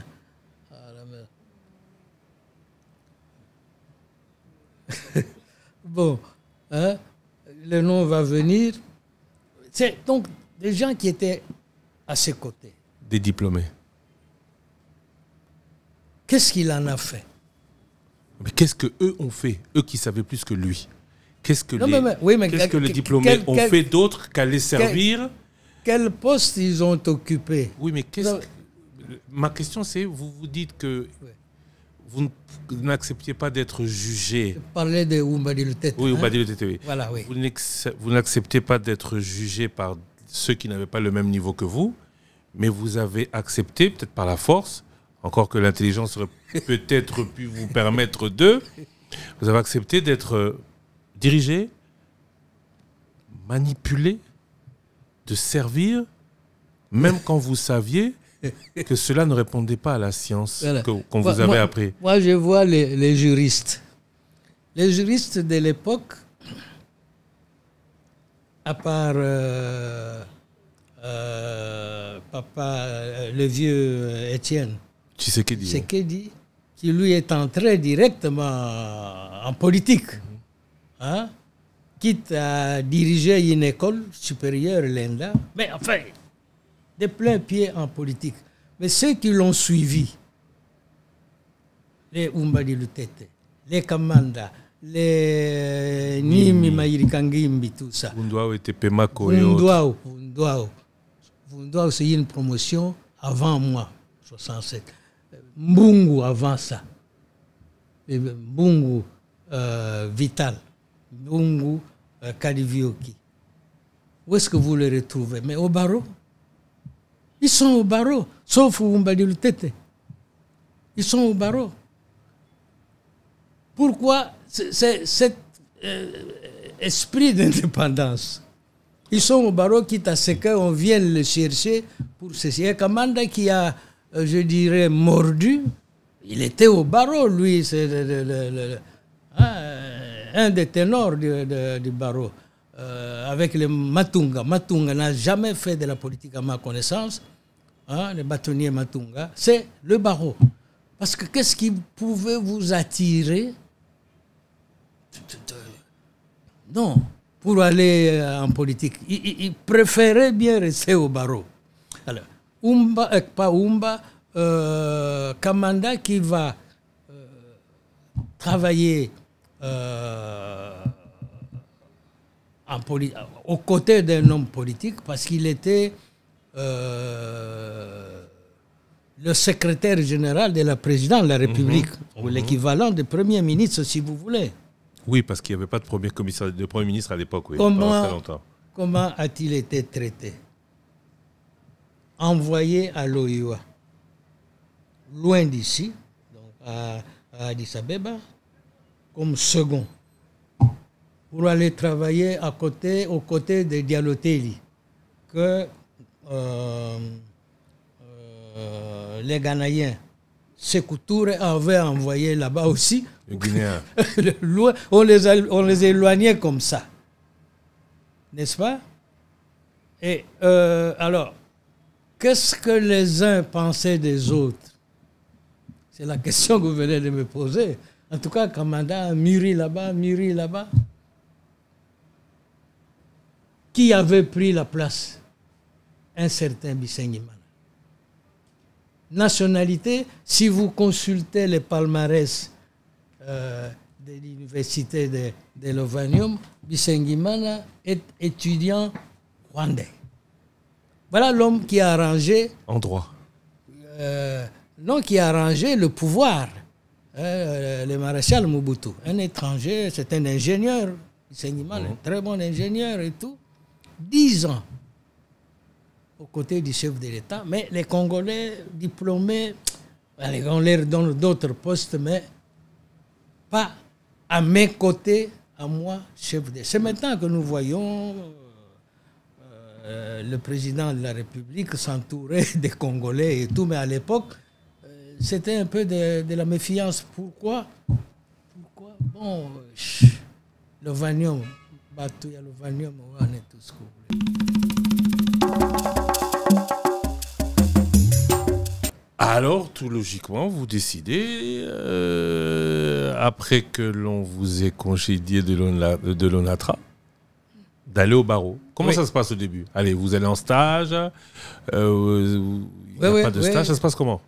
Ça se passe euh, suivant la loi. moi, je suis entré au barreau sous la loi de 68. 1968 c'est euh, la toute première loi que le pays a mise, sur pied pour organiser les BAO. Donc je suis entré sous ce régime-là de la loi de 68 et qui astreignait les avocats à un stage. Donc j'ai dû faire mon stage. Combien d'années euh, Deux ans. Jusqu'à aujourd'hui, c'est deux ans. Euh, Où faites-vous votre stage? Je fais mon stage, je le commence auprès d'un confrère décédé, un Rwandais, maître euh, Isidore Rubusisi. Un Rwandais hmm? Installé au Congo euh, Oui, il venait d'Europe, lui. Et alors, je vais le quitter bientôt. Mais je suis allé là-bas, en fait, parce qu'il avait à ses côtés Maître Mayar Akon, un Soudanais, qui a terminé à l'Ovanium une année avant moi, Maya Rakon, un Soudanais qui est venu à l'Ovanium parce que le Soudan en guerre et tout, les missionnaires de là ont envoyé leurs enfants à l'Ovanium, dont Maya. Mais je vais faire hum, ma deuxième année de stage au cabinet Barbier et Serlipins. Barbier, euh, qui était conseiller juridique du gouverneur général. À l'indépendance, il ne rentre pas en Belgique, il ouvre son cabinet d'avocat. C'est ce Barbier-là qui m'a formé avec maître Robert Saint-Lipens. À ce moment-là, il y avait que des étrangers. Est-ce qu'il y avait déjà des avocats congolais? Barreau, au barreau, il y, a- il y avait. euh, Il n'y avait pas de Congolais. hein. il y en avait mais un petit nombre. hein. Un petit nombre ici à Kinshasa. Je crois qu'ils ils étaient euh, pas plus de 10. Avec leurs pro- études propres. Oui, oui, oui, oui, oui, oui. Oui, avec études propres, oui. Pas Oui, sous oui. l'étude de- d'un blanc ou d'un étranger. Non, non, non, ils avaient. euh, D'abord, euh, ceux qui sont venus avant 68, ils n'avaient pas besoin de faire le stage. Motif, mais la loi ne le prévoyait pas. C'est la loi de 68 qui va introduire euh, le stage avant d'entrer au barreau. Et c'est comme cela que moi j'ai fait deux ans de, de stage. Quel Eh. type de, d'avocat, euh, de quel type d'avocat le Congo avait besoin à ce moment-là? C'était quoi les genres, le genre d'affaires que vous traitiez? C'était quoi? Le genre d'affaires que vous traitiez il n'y avait pas moyen de, de choisir. C'est-à-dire quoi? C'est-à-dire qu'il n'y avait pas moyen de, spéci- de se spécialiser. Pourquoi? Mais vous n'êtes pas nombreux. Et les dossiers, les besoins, les besoins sont immenses. Dans quel domaine Quel type Dans d'avocat tous les domaines, dans tous les domaines, les besoins sont immenses. Vous allez dire à un client, non, allez là-bas, mais comment vous allez le faire? Vous traitez son problème, si vous le pouvez. Donc il n'y avait pas moyen de se spécialiser en raison du nombre très petit hein, d'avocats et euh, face à l'immensité du travail. Quand j'entre au barreau en 71, le 16 février, il n'y avait pas plus de, de, de- de- de 150 avocats à Kinshasa. Non. Aujourd'hui, à Kinshasa, on a environ euh, 19 000. Vous voyez la progression. Et alors, euh, vous faites quoi? Mais vous faites le travail euh, qui vous tombe. Quel type de procès Quel type de dossier tous les dossiers en tout domaine, que ce soit les affaires pénales, que ce soit en matière civile, les contrats, des problèmes de parcelles, les accidents de roulage, euh, que sais-je encore. On dit, regardez ce qui, quels sont les traités, euh, quels sont les dossiers traités en justice et vous aurez une, image de ce qu'est la société. Aujourd'hui, on parle beaucoup de, de problèmes parcellaires. Aujourd'hui, on parle beaucoup de, de- enfin, plus de problèmes parcellaires d'ailleurs. À, l'époque, on parlait plus de quoi? On par- Il y avait déjà ce, genre de problèmes parcellaires À l'époque, il n'y avait pas euh, beaucoup de conflits parcellaires. Le cadastre marchait bien. Le cadastre marchait bien. Euh, quand il y avait un conflit, on le réglait à coups de papier. Voilà mon... Non, il n'y avait pas de, beaucoup de conflits de parcelles. Non, vraiment pas. Parce que, je vous le disais, le cadastre fonctionnait bien. Parce que l'administration Bon, marchait mieux. L'administration marchait bien. Donc, de ce côté-là, euh, euh, les conflits parcellaires, euh, non, ce n'était pas ça. Mhm. Il y avait le problème des accidents de roulage, avec la route de Matadi et tout ça. Bon, voilà, Ça, c'était beaucoup plus. beaucoup plus. Il y avait euh, le problème des divorces. Les gens ont toujours divorcé. Il y avait des conflits de travail. Euh, Telle entreprise a licencié les gens et tout. Ils viennent, voilà. Euh, Je me rappelle de quelques dossiers au départ. hein, C'est des affaires du travail. Je me rappelle un conflit que j'ai réglé. Euh, avait licencié quatre agents qui sont venus me voir. Et quand je gagne le procès, eh bien, mes clients me payent et avec leurs produits euh, de dommages et intérêts, ils ont pu s'acheter des Kimalumal, tout neuf. Ça coûte aujourd'hui, je crois, dans les 30 000, 40 000 30, 40 000 dollars, ouais. Un Kimalumal. Quand- il faut- il faut- Oui, bon, donc euh, la valeur de la Il monnaie. il faut que j'explique à, à ceux qui nous suivent, les plus jeunes, que Kimalumal, c'est des pick-up Oui, le pick-up. pour euh, qui faisaient transport à l'époque. Oui, oui, oui. oui. Mhm. Alors, vous avez dit, vous, c'était le barreau. Vous étiez licencié en droit, vous n'avez jamais pensé à aller dans la magistrature. Non. Pourquoi? Pourquoi pas dans la magistrature? Je vous l'ai dit. La cotation. La cotation. Euh, et puis, oh, la magistrature. C'est beau, hein? C'est beau, la magistrature. Bon. Moi, si, vous me- si je vais du côté du siège des juges, hein, Oui, c'est ça.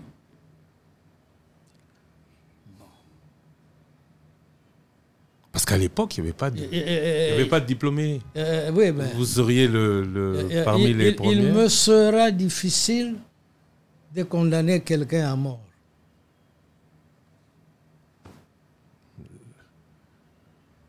La perpétuité existe. Ça existe. Ça existe. Mais moi, ah, même quand je plaide aujourd'hui, bon, je sais que bon, c'est d'autres qui vont couper. Mais moi, Ah, vous ne savez Ben, pas juger. je Mais ne vous sais savez- pas que je ne sais pas juger, Vous savez mais plaider. prendre la responsabilité. Vous savez plaider, vous Oui. savez évaluer. euh, Les autres que- s'occupent de la suite. Oui, mais oui, d'accord, mais vous savez, quand, quand l'avocat plaide, euh, il plaide pour que son client, c'est vrai qu'il défend un client, Oui. euh, quand, il, quand tout, quand tout est contre lui, Oui. euh, Oui, Les évidences sont là, oui. La, le- Oui. la- la plus euh, en fonction de la loi. Oui, oui, oui, c'est Donc exact. l'avocat aussi euh, adapte son, sa plaidoirie en fonction de ce que Oui, oui. prévoit oui, la oui. loi. Oui, oui, oui. C'est la même chose pour le magistrat. Euh, L'avocat raisonne par hypothèse, même s'il s'accroche à une hypothèse, mais généralement à titre principal. Je demande ça, à titre subsidiaire, à plus subsidiairement encore. Donc l'avocat raisonne de cette manière-là. Mais le juge, lui, est obligé de trancher. Si c'est la condamnation à mort, il dit condamnation à mort. On va exécuter sans lui. J'aurais voulu que vous Bon, m'épargniez euh, cette question, Oui, mais je vais y arriver. Aujourd'hui, on parle beaucoup des avocats. oui. On va y revenir. Vous avez été euh, Oui. bâtonnier, record du Congo, 12 ans. Parlons de cette justice qui rend des verdicts que Maître Matadi Wamba aurait pu rendre aujourd'hui, vous qui euh, écrivez tant sur la ju- jurisprudence euh, congolaise qui n'existe pas du fait que la justice ne soit pas bien rendue? Je ne saisis pas très bien la question.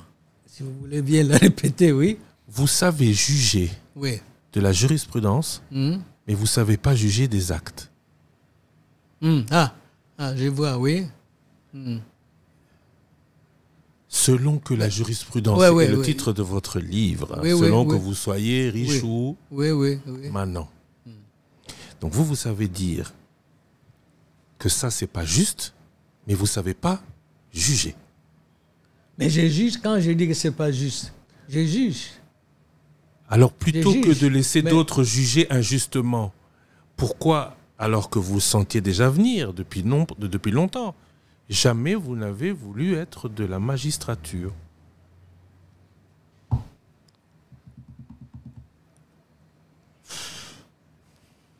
Comment dois-je encore euh, m'exprimer pour que vous saisissiez ma pensée Hmm? D'abord, je vous ai dit que les magistrats, ce sont des fonctionnaires qu'on cote annuellement. Bon, très bon, élite, médiocre. Ça, je dis non. Maintenant, si je veux aller au barreau, euh, qu'est-ce que j'ai dit à la magistrature? Ça sera comme juge ou comme ministère public. Juge ou procureur C'est ça. Mhm. Comme ministère public ou comme juge. Comme procureur, je peux demander une peine de mort. Une peine capitale. Quitte au juge à se débrouiller. Comme juge, je serai celui qui va dire je condamne à mort ou bien j'acquitte. Ça, on a compris que vous, ne- vous, vous- vous- vous n'aimez pas beaucoup. Voilà. Mais le procureur, Le procureur, mais c'est celui qui demande.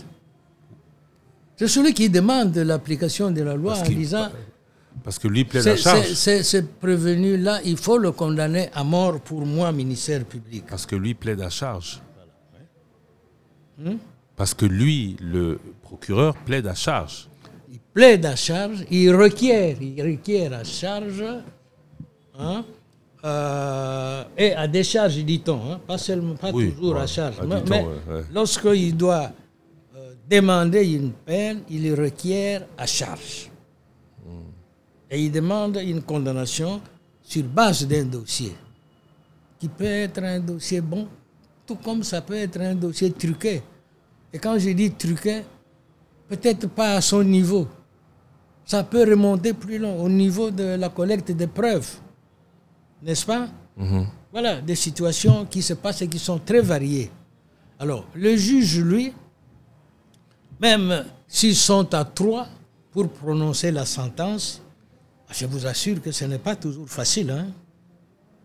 Ce n'est pas que moi je fuis alors, si vous voulez, la responsabilité. Mais je dis non, il y, y a des gens pour ça.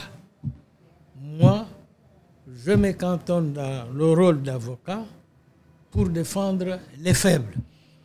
Pour défendre les faibles.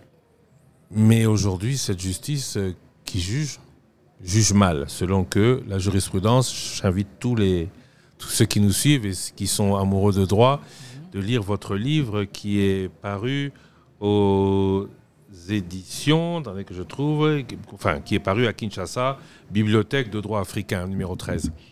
Euh, mais cette justice congolaise, aujourd'hui, on l'a dit malade. Comment est-ce que l'avocat que vous êtes arrive à patauger dans pareil marécage? Voilà. Avocat, je défends. Et il passe beaucoup de dossiers entre mes mains. Beaucoup. Beaucoup de dossiers, beaucoup de jugements. Entre mes mains. Et cette masse de jugements m'a permis de faire l'ouvrage que vous citez là, selon, entre parenthèses, que la, La jurisprudence.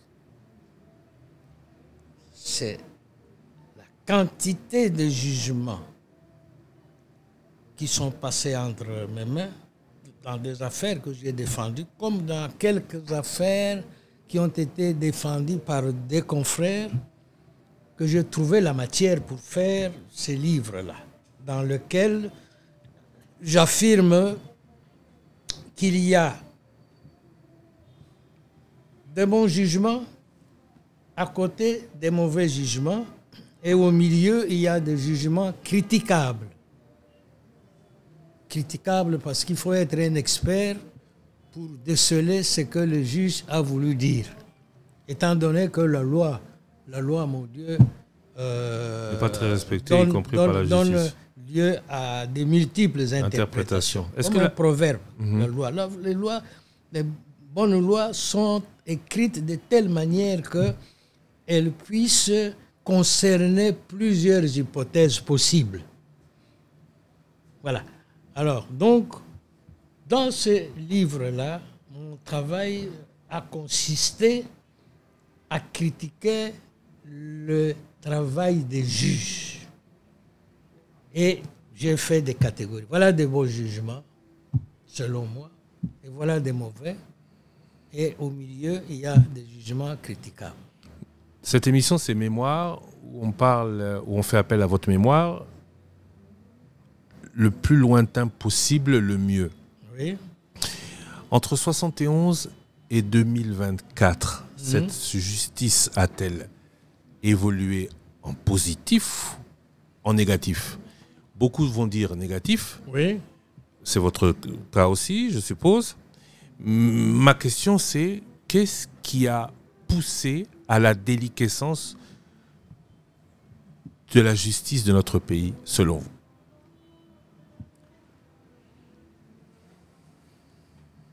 Euh, c'est que le juge euh, ne sont pas suivis comme il se doit, comme il se devrait. Entre autres causes, pour moi, c'est ça. Euh, suivre les juges, c'est dans leur œuvre, leurs œuvres, leur travail. Est-ce qu'on publie encore les jugements? La loi oblige de publier en tout cas les arrêts de la Cour de cassation. Les arrêts de la Cour constitutionnelle. Si ces arrêts étaient publiés régulièrement, le public verrait, en tout cas un certain public verrait que ce jugement-là a été mal rendu. Mais est-ce que ce jour-là, le juge était ivre ou quoi? Même le journal, en ce moment, se mettrait à critiquer. Ça, ça ne suit pas. C'est la seule raison. Ça ne suit pas. C'est la seule raison selon vous? Non, non, non, non, c'est pas la seule réponse. Ce n'est pas la seule réponse. Ça, je dis, c'est une des causes. Parce que si un juge sait qu'on va le lire, on va le découvrir et son œuvre sera euh, mise à nu, il va surveiller ne fût-ce que la rédaction. Ne fût-ce que la rédaction. ça, c'est une des causes. Il y a une autre cause. Il y a une autre cause. Mais les influences, appelons-le provisoirement comme ça, les influences. Provisoirement alors.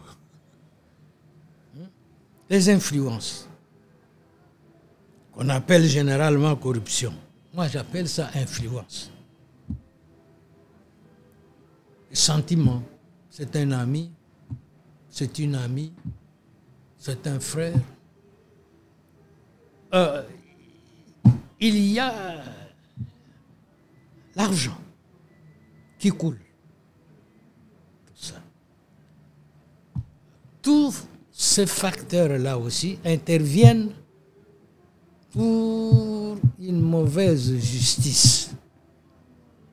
Qui n'a pas les moyens de rendre justice. Selon que vous serez puissant ou misérable, a dit La Fontaine, les jugements de cour vous rendront blanc ou noir.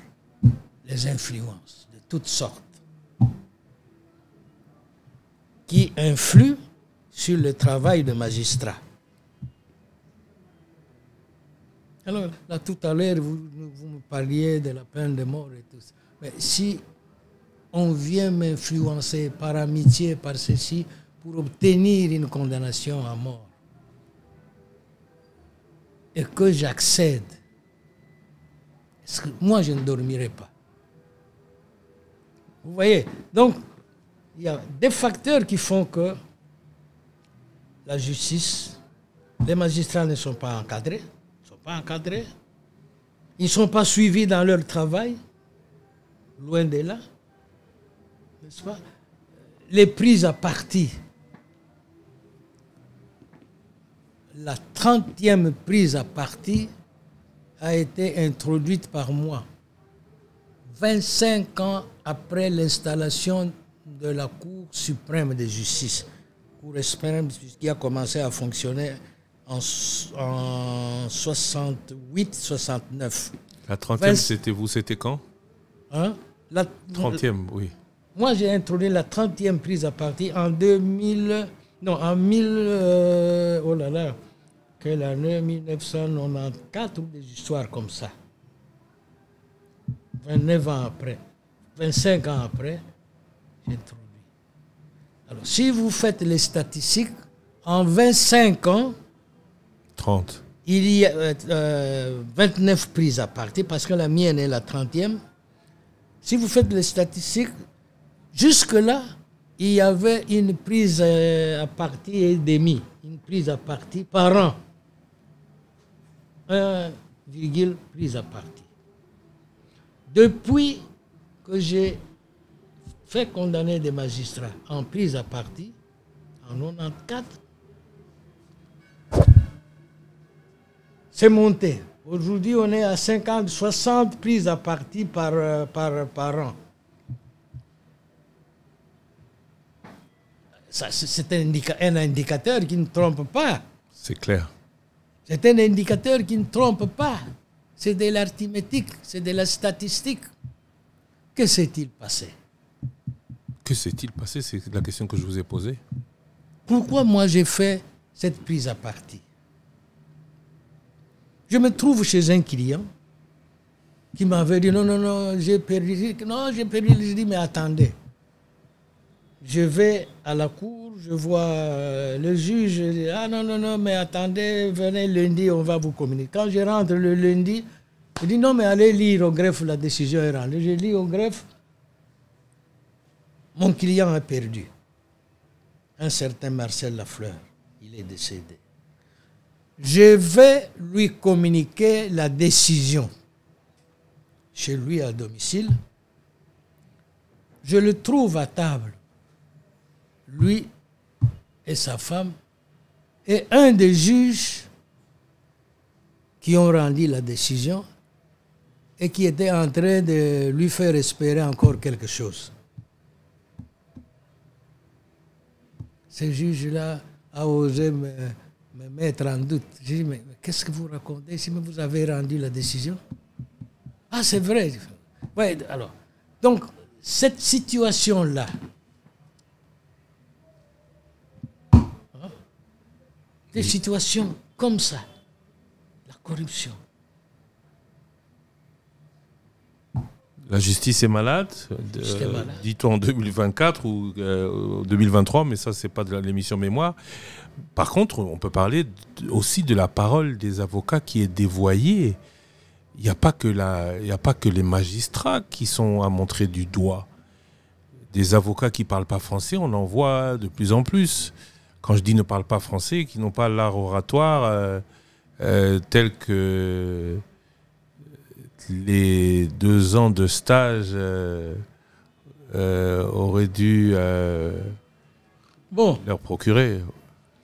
le- les avocats, j'ai eu à le dénoncer en son temps lors de rentrées judiciaires devant les chefs de l'État, même dans certains forums et tout.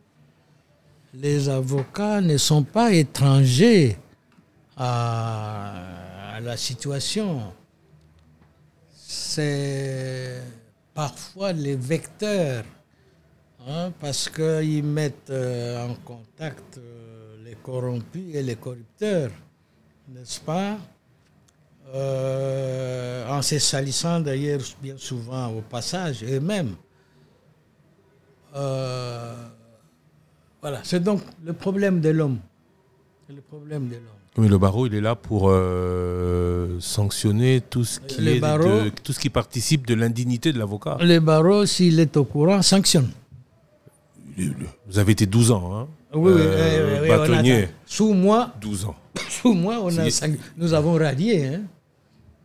Autant qu'il autant fallait ou Non. euh, un peu? Pas, au- pas autant qu'il fallait, autant qu'on était au courant.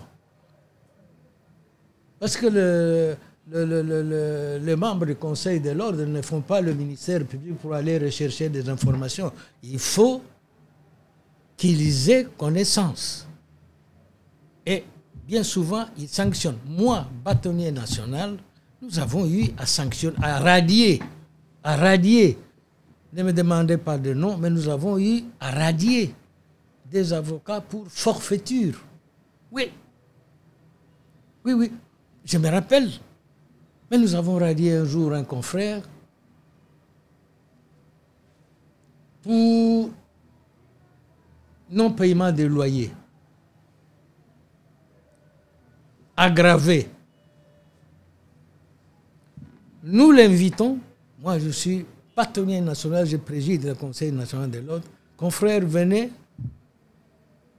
Il ne vient pas. Il nous envoie un autre avocat le représenter. Nous disons qu'il vienne lui-même parce qu'il y a des choses qu'on va lui dire à lui. Il ne vient pas. Nous le mettons en prévention pour manque de déférence. Vous n'avez pas les loyers, payer les loyers. Votre bailleur vous demande de quitter les lieux. Pourquoi vous ne quittez pas? Et quand nous l'interrogeons sur son absence, pourquoi il n'est pas venu, il va mentir. Il donne une explication mensongère. Sortez. Nous l'avons radié. Ça, c'est une, ça, c'est, ça, c'est une radiation euh, importante. À la Et, radio, la- la- radiation, non, mais il y a des radiations.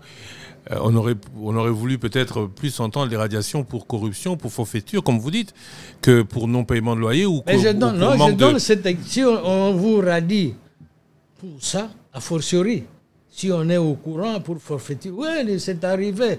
Ne, ne- ne m'amenez pas à raconter ici, mais il y a plein de cas où euh, un conseil de l'ordre euh, radie parce que les faits sont graves.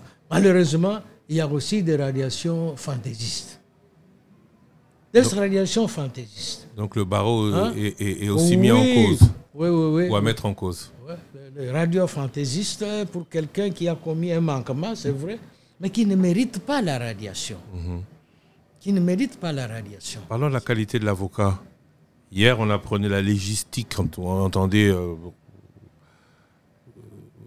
rapidement résumer l'esprit des lois à, à chaque avocat. Aujourd'hui, euh, tout cela n'est plus enseigné. L'enseignement et même les stages. Euh, vous êtes formateur des avocats. Euh, il n'est pas lui aussi à remettre en cause aujourd'hui? Vous disiez, vous, de votre temps, qu'on n'avait pas la possibilité de pouvoir se spécialiser. Aujourd'hui, on peut se spécialiser. Aujourd'hui, on peut être ou on doit être mieux que les avocats d'hier.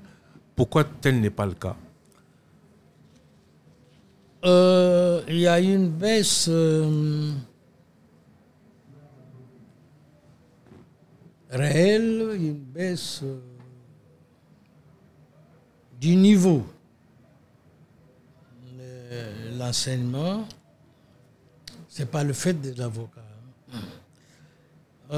Il y a cela, du niveau. Et sous moi, comme euh, bâtonnier national, nous avons introduit le test. Compte tenu du niveau, du niveau de l'enseignement à l'université, nous avons dit non, non, non, non, non. De façon réglementaire, même si la loi ne prévoit le stage que pour les diplômes de l'étranger, Néanmoins, compte tenu de la situation au pays, il y a des gens qui achètent des diplômes. Il faut aussi vérifier les connaissances de ceux qui ont étudié au pays. Donc, euh, il faut un concours, il faut un examen. Malheureusement, malheureusement, il s'est fait que j'ai eu à les déplorer, et on les déplore encore, au lieu que ce soit l'occasion de vérifier qui a mérité son diplôme à l'université, qui ne l'a pas mérité. Aujourd'hui, euh, pour les barreaux, pour certains barreaux en tout cas, c'est devenu l'occasion d'arrondir la caisse du barreau.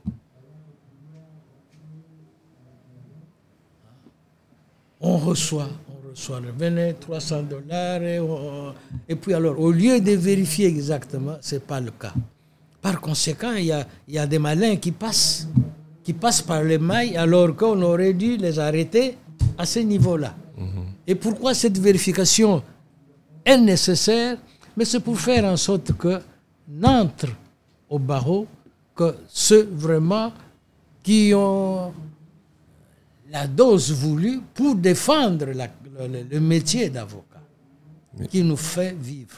Ce métier d'avocat qui, euh, en tout cas au niveau du barreau, euh, aurait dû être mieux organisé. euh, le projet de loi Mboukou,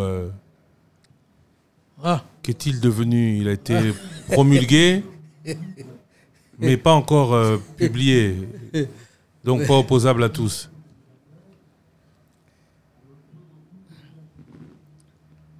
Oh, j'espère que vous ne voulez pas dire que si cette loi était... Euh, D'abord, elle a été promulguée, je vous le dis, le chef Par le l'a promulguée, mais pas publiée au journal officiel.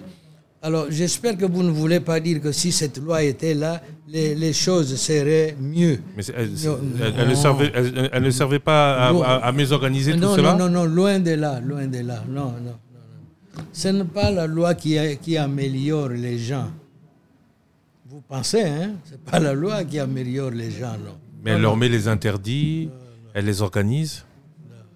La loi, euh, dans ce cas, Sidi Baro vous organise fixer de- des organes, comment ça doit fonctionner. Et, et- et- non, c'est pas ça. Et cette loi-là, puisque vous la citez,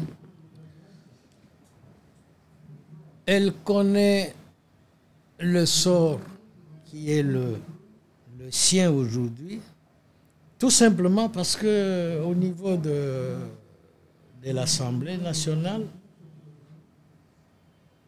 par voie d'amendement, qui ne venait pas des auteurs de la proposition de loi, beaucoup et moi, mais un député, je ne sais même plus lequel, a cru bon de mettre dans la loi que tous les actes, tous les contrats translatifs de propriété doivent être faits par des avocats congolais. Doivent être faits avec l'assistance des avocats congolais. Ça n'a pas plu à certains milieux avec euh, leurs contrats plantureux de ceci, de cela, leurs contrats qu'ils que- font euh, élaborer par leur conseil, euh, avocat à l'extérieur et tout. Ça n'a pas plu. Et euh, ces milieux-là ont bataillé au niveau de l'Assemblée pour que l'amendement ne passe pas. Donc, Voilà euh, que l'amendement est passé. Alors, ils ont suivi le dossier ailleurs.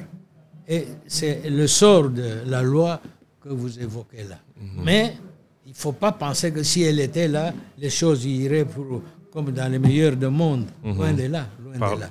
parlons de Maître Matadi Wamba. Oui. L'un des grands procès, on l'a vu, c'était le procès très médiatisé de la mort du président Laurent Désiré Kabila. Vous étiez le président du collectif des avocats de la famille. Oui. Avez-vous l'impression que tout a été dit, tout a été jugé, tout a été fait dans ce procès, dans les règles de l'art, de dire le droit? Oui, quant euh, au décor, hein, oui, c'est dans les règles. Donc, quant au décor, oui, il y a eu euh, plainte, il y a eu enquête, il y a eu euh, débat contradictoire sur pratiquement 11 mois. Non. Quant aux règles, ça va. Maintenant, dans le fond, il ne faut pas oublier que l'enquête a été menée par une commission euh, de trois pays. Si pas quatre, euh, le Congo, l'Angola, la Zambie, pas la Zambie, le Zimbabwe, le Zimbabwe. Zimbabwe. Voilà les pays qui ont mené l'enquête. Alors, qu'est-ce qu'il y a dans les procès verbaux? Est-ce que ces procès-verbaux contiennent toute la vérité? Moi et mes collègues du collectif euh, des avocats de la famille, la partie civile, il nous a été demandé, d'abord il nous a été dit, maître, allez, il faut venir nous dire ce qui s'est passé réellement pour nous, pas de vengeance et tout, mais nous voulons connaître la vérité. Voilà la consigne de la famille. Alors nous allons au procès, on a lu les procès-verbaux, on a suivi les audiences publiques et euh, à l'audience, Il y a des témoins que nous n'avons pu avoir, euh, pas pu avoir facilement. Ce n'est pas le lieu de citer qui que ce soit. Des témoins privilégiés. Appelez-les comme vous voulez, mais nous, nous voulions qu'on les entende. On ne les a pas eu facilement. Il y a des questions auxquelles le ministère public n'a pas pu répondre. Alors là, il faut que je vous donne une indication. Moi, j'interviens, je demande à la Cour, mais Général Président, voulez-vous demander au ministère public, ça c'est moi en tant que parti civil qui veut connaître la vérité, c'est moi qui fais poser cette question au ministère public qui poursuit. Demandez au ministère public de nous dire, parce que nous voyons dans ce dossier des prévenus de tous bords. Il y a les partisans de Massassou, d'un côté, et il y a de l'autre côté les partisans, les partisans de Musée. Tous prévenus. Nous savons que ces gens, avant la mort de Musée, ils se combattaient à mort. Alors, dites-nous, ministère public, à quel moment ces gens se sont retrouvés se sont pour commettre l'assassinat ensemble. Parce que nous voyons les, partisans des musées avec à leur tête Eddie Capend, les partisans de Massassou avec à leur tête tel. Alors, à quel moment ils se sont... Parce que c'est quand même bizarre. La Cour s'adresse au ministère public. C'était le colonel Alamba. Oh, il n'a pas répondu. Il a balbutié quelque chose, mais il n'a pas répondu. Premier, un des faits troublants. Moi, je veux connaître la vérité. On a assassiné mon parent. Alors, et je vois des gens qui se combattaient et aujourd'hui ils sont ensemble accusés. À quel moment ils se sont mis d'accord? Et comment? C'est troublant. Alors je peux vous énumérer des éléments comme ça dans euh, cette affaire-là. Finalement, euh, moi j'ai conclu, j'ai dit non. Quand j'ai plaidé, hein, quand j'ai plaidé, j'étais le, par préséance, j'étais le premier à plaider d'ailleurs. J'ai conclu que ce procès, ce n'est pas le procès de l'assassinat de musées. Comme pour Lumumba, comme pour Kennedy, il lui fallu pas de procès du tout. J'ai laissé les autres continuer leur mission. Le déni de justice, vous prenez le déni de justice. Pardon? Vous preniez le déni de justice. En disant que ce n'était pas le procès de musée. En disant qu'il ne fallait qu'il fallait comme pour, Pour euh, Lumumba, comme, comme pour, pour, Kennedy, Kennedy, pas de oui. procès du tout. pas de justice. Hein? Pas de justice. Pas de procès veut dire pas de justice.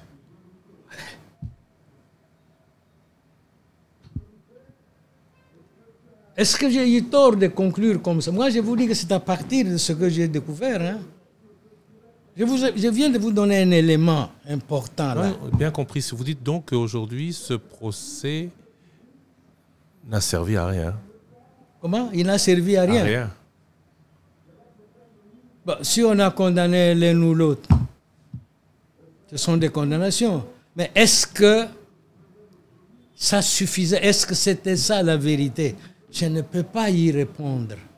Mais la, la- la- vérité judiciaire est consacrée, hein, personne n'y revient. Il y a une vérité judiciaire. Moi, je vous parle euh, de l'individu Matadi Wamba et ma conviction à moi était que je ne pouvais pas suivre le réquisitoire du ministère public. Je pouvais pas suivre. Et d'ailleurs, pour la petite, vous savez comment il a fini, le ministère public en question? Ne sais pas si vous savez comment Alain va finir. Très bien, Paix à oui. son âme. À vous son savez. Bon, voilà. Donc, pour moi, pour moi, comme on dit en âme et conscience, je ne pouvais pas accompagner le travail du ministère public. Euh, les autres confrères, euh, eux, ils ont plaidé. Et bon, voilà, nous avons obtenu ce qu'il fallait obtenir. Et puis, bon, voilà.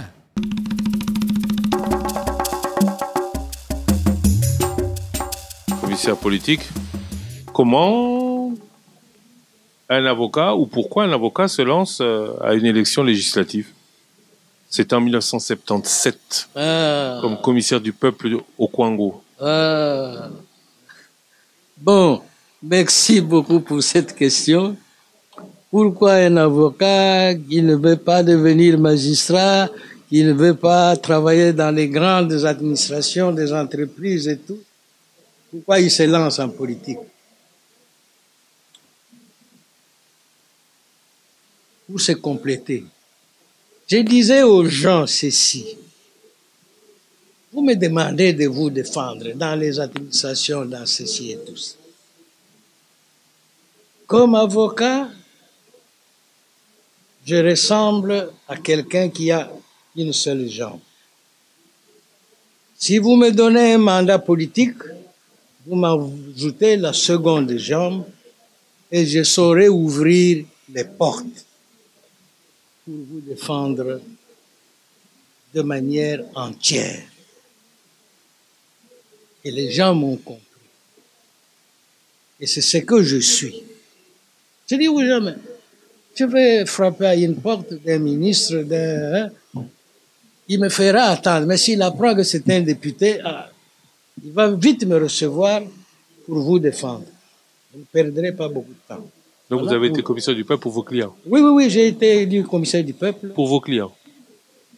Pardon? Pour servir vos clients. Pour cela. Et veuillez m'en croire. Pour cela. Mais la, Pour servir de façon complète mes clients. la, Pour cela. la fonction d'un député, c'est de sanctionner le Naturellement, il y a les clients, mais il y a le, comme, comme député, il y a le public, il y a le, le- le- pays que vous défendez. Mais moi, ce qui a fait germer en moi la volonté de solliciter un mandat politique comme député, commissaire du peuple à l'époque, c'était d'abord d'être complet. Je suis avocat, une jambe, avocat député, deux jambes. Et ça s'est vérifié. Ça s'est vérifié. Comment? Mais comment? Mais Vous voyez beaucoup de gens du monde politique refuser une demande d'audience d'un honorable. Qu'est-ce que vous, Parce a- que tout le monde est honorable aujourd'hui. Oui. qu'est-ce que vous voyez avez obtenu pour vos, pour vos, pour vos électeurs? Euh, Qu'est-ce que l'avocat a obtenu pour ses électeurs avec ce mandat de commissaire du peuple? Oh, qu'est-ce que le mec qu'il y a mes électeurs? Bon, je réponds d'abord à ça. Mais voilà. Moi, j'entre euh, au Parlement en 77. Le maréchal Mobutu était à Kenge. Je crois que c'est la seule fois. En 69. Il est au pouvoir en 65. 69, il va en visite à Kenge. Il promet l'eau à la population de Kenge. 69. Quand est-ce que la régie de eaux a ouvert la pompe, a donné l'eau à la population de Kenge? C'est en 82. 13 ans plus tard. Combien? 13 ans plus tard. 82, 13 ans plus tard. Suite à quoi? Au Suite à plaidoyer. un enfant, Mhm. non pas le plaidoyer, un enfant du pays qu'ils ont élu comme député, qui va devenir ministre de l'énergie. Je vous ai parlé de la Providence tout au début. Hein? Eh bien, c'est ce ministre de l'énergie qui va réveiller la régie des eaux à l'époque Tchongo. Tchongo, mais, mais le maréchal a promis l'eau à Kenge depuis 13 ans, en 69. Alors, j'ai fait un peu l'avocat. Il, dit, mais il, il se gêne, il ne va plus à Kenge parce que euh, l'eau qu'il a promis hein, n'est toujours pas là. Là, là c'est moi qui brode. Mais la réalité, c'est celle-là. Et quand je dis ça au PDG Tchongo, un commissaire d'État, il faut attendre un peu. Nous sommes en train de donner l'eau euh, dans cinq villes euh, à tel endroit. Il faut attendre. J'ai dit non, non, non. La promesse du maréchal date de 13 ans. Il faut me trouver vite de l'argent pour aller donner l'eau à Kenge. Ça, c'est pas le député. Tchongo, avec lequel je m'entendais bien par ailleurs, Tchongo il a trouvé l'argent. On a donné l'eau à la population de Kenge en 82. Et ça, c'est pas le commissaire du peuple qui fait ça. Mais, Euh, oh, vous mais avez été comment? en- Ah, non, non, non, ne avez- dissociez pas. Vous avez été en 77 commissaire du peuple, Congo. Le 18 juin 1980, vous êtes commissaire d'État aux affaires foncières sous Boboliko. C'est pas ça. C'est en 1981, sous Tsinga 80. Uju Ongwakebe Ontube, que vous êtes nommé commissaire d'État à À l'énergie. l'énergie que j'aborde ce problème. Mais ça, c'est pas le commissaire du peuple, c'est le ministre. Mais, mais vous, vous dissociez Comment je suis devenu euh, ministre? Parce que vous étiez commissaire du peuple. Mais bien sûr, non seulement commissaire du peuple, mais parce que le maréchal Mobutu qui doit euh, diluer l'influence euh, du Parlement, il décide de retirer de l'Assemblée euh, toutes les têtes d'affiche. Ceux qui qui ne faisaient pas du bruit, mais qui, euh, hein, qui, qui, qui étaient les, les, les, les, députés, si vous voulez, les commissaires du peuple, euh, dont la voix portait, il les retire du gouvernement. Du gouvernement Enfin, de euh, l'Assemblée? De l'Assemblée. Conseil de législatif. À l'époque, conseil législatif. Alors, hein, donc, euh, Mananga, Matariwamba, euh, Bettina, quatre, il nous met au gouvernement. pour Certains. Certains, comme Belchika, il les envoie en ambassade, à gauche et à droite et tout. Vous voyez?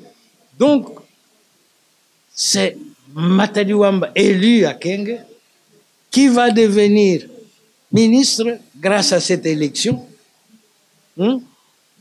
D'ailleurs, euh, nous avions, à l'époque, pour la population de Kenge, euh, on venait d'élire un commissaire politique, Bosso. Hein? Nous étions élus ensemble le même jour.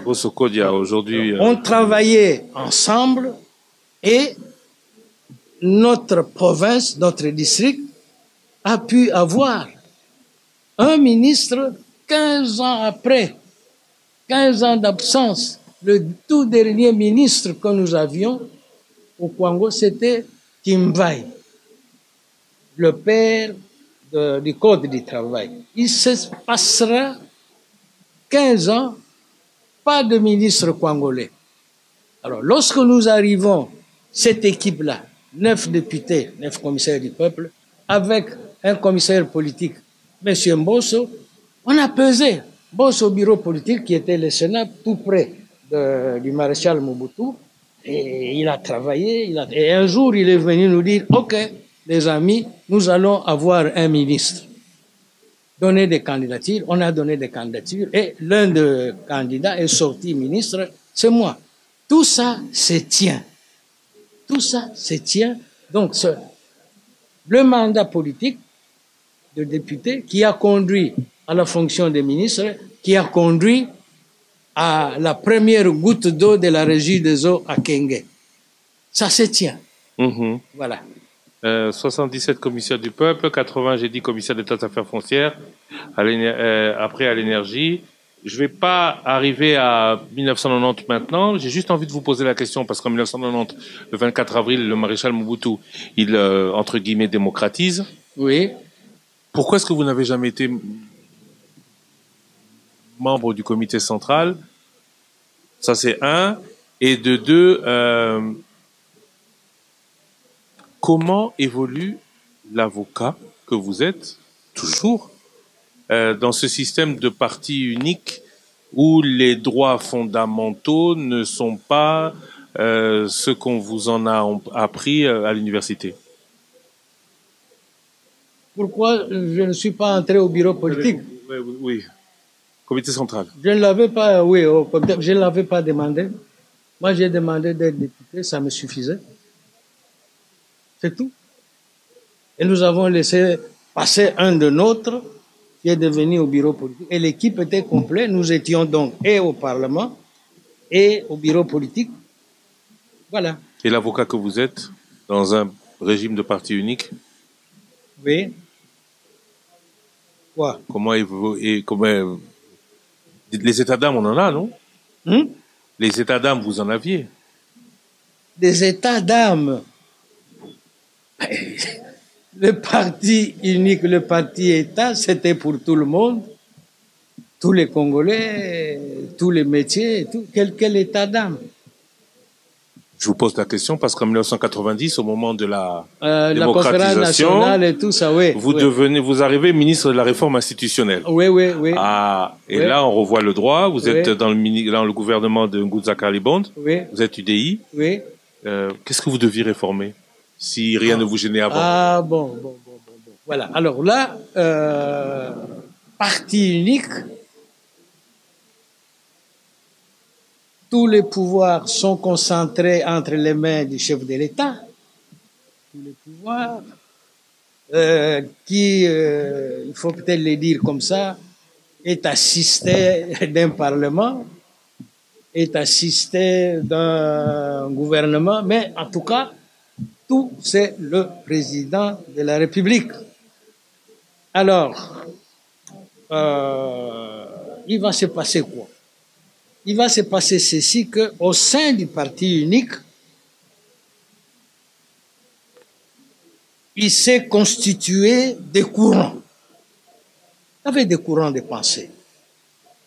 Et un des courants de pensée était euh, géré par les États-Unis d'Amérique.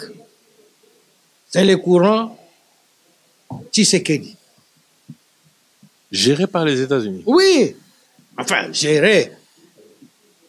Vous voyez ce que je veux dire, hein, était, euh, si vous voulez, euh, est-ce qu'il faut dire contrôler, est-ce que, en tout cas accompagner. Voilà, peut-être Accompagner. Accompagner. Nous avions, en tout cas en ce qui me concerne, on était avec un tas d'amis là, avec Tshisekedi dans les réceptions, dans ceci aux États-Unis. Et comment va naître Mais Tout simplement parce que les commissaires du peuple étaient en train de faire signer une pétition hein, réclamant non pas le départ du maréchal Mobutu, mais des mesures pour pouvoir corriger ce qui n'allait pas. Et à la treizième signature, paf, les services saisissent les documents et les 13 qui avaient déjà signé, bon, ils ont constitué le, le noyau de l'UDPS. J'aurais pu être du nombre, mais je venais de passer au gouvernement. Qu'à cela ne tienne, moi, j'ai tout ministre que j'étais, j'ai été interpellé par le gouvernement. Quand le président vient euh, à l'Assemblée euh, protester et tout, je sortais du palais de la Nation, donc du Parlement. Le procureur général, euh, il est encore en vie. Anguelette me dit, citoyen commissaire d'État, venez avec moi. Je suis allé à son cabinet, il m'a verbalisé. Que savez-vous? Que savez-vous? Est-ce que vous étiez avec les, les systèmes J'ai dit, bon, écoute, c'est,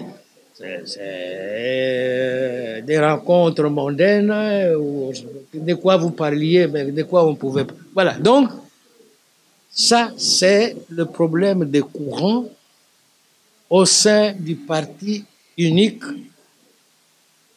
euh, parti État.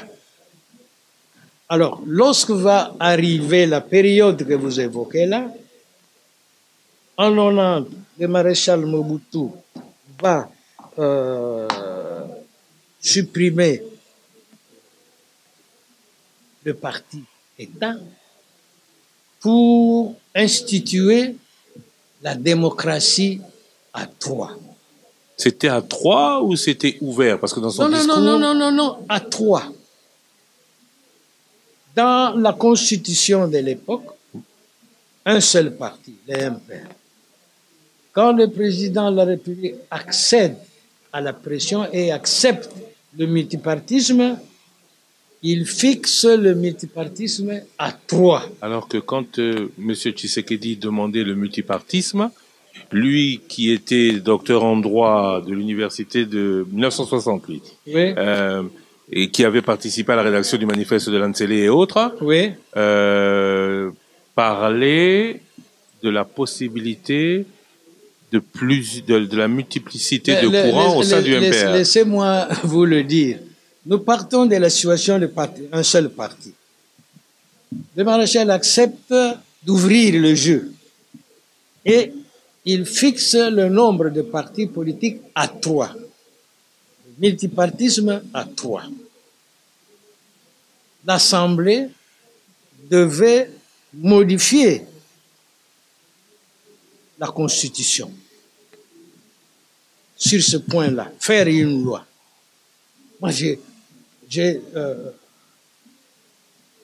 La proposition, Plaider. la proposition de loi vient du gouvernement. oui, oui, oui. Vous êtes ministre des réformes Non, institutionnelles. non, non, pas encore, pas encore à cette époque-là. Non, non, non, ça, ça va venir plus tard, mais c'était avant. Alors, moi, je milite pour le, multipartisme à Intégral, trois. à À trois. à Mm. trois. Motif, je dis, mais nous suivons les Occidentaux en tête de l'Amérique. L'Amérique, il y a combien de partis? Plusieurs, mais on ne parle jamais que de deux. Toujours. Alors, c'est un espace suffisant pour l'expression démocratique. On bloque les partis politiques à trois. C'est-à-dire les MPR qui étaient là, l'autre parti que euh, le maréchal n'a pas voulu citer, c'était l'UDPS qui était clandestin, et un troisième parti à créer. Pour lui, c'était le parti qu'il venait de confier à Kamanda. Donc, on bloque tout, la loi et tout. Nous allons en vacances parlementaires. Je me trouvais dans un village ce matin-là, sur la voie de l'Amérique, j'apprends, ah, le maréchal Mobutu a accepté le multipartisme intégral. Intégral. Nous rentrons, il faut changer encore les choses. Voilà comment ça s'est passé. De telle manière que plus tard, avec la conférence nationale, bon, le premier ministre Ngous m'appellera au gouvernement pour m'occuper de la réforme institutionnelle, après que Mwando Chimba ait décliné l'offre. Ça s'est passé comme ça. Et aujourd'hui, vous voyez vous-même, euh, est-ce qu'un pays comme le nôtre a besoin vraiment de mille partis politiques Mille. Même si nous avons une étendue euh, continentale, mille partis politiques, c'est le gâchis. N'est-ce pas? Alors, euh, comme quoi, euh, on refuse parfois des choses qui sont bonnes, qui sont dans le sens de l'intérêt général, mais compte tenu du contexte du moment, on dit niet, niet, niet.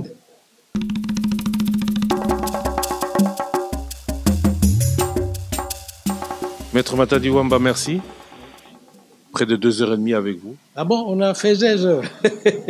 Près de deux heures et demie. Personne ne m'a donné une goutte d'eau. Voilà. OK. Hier était moins bien que demain. Comment pensez-vous que demain sera? Comment je pense que demain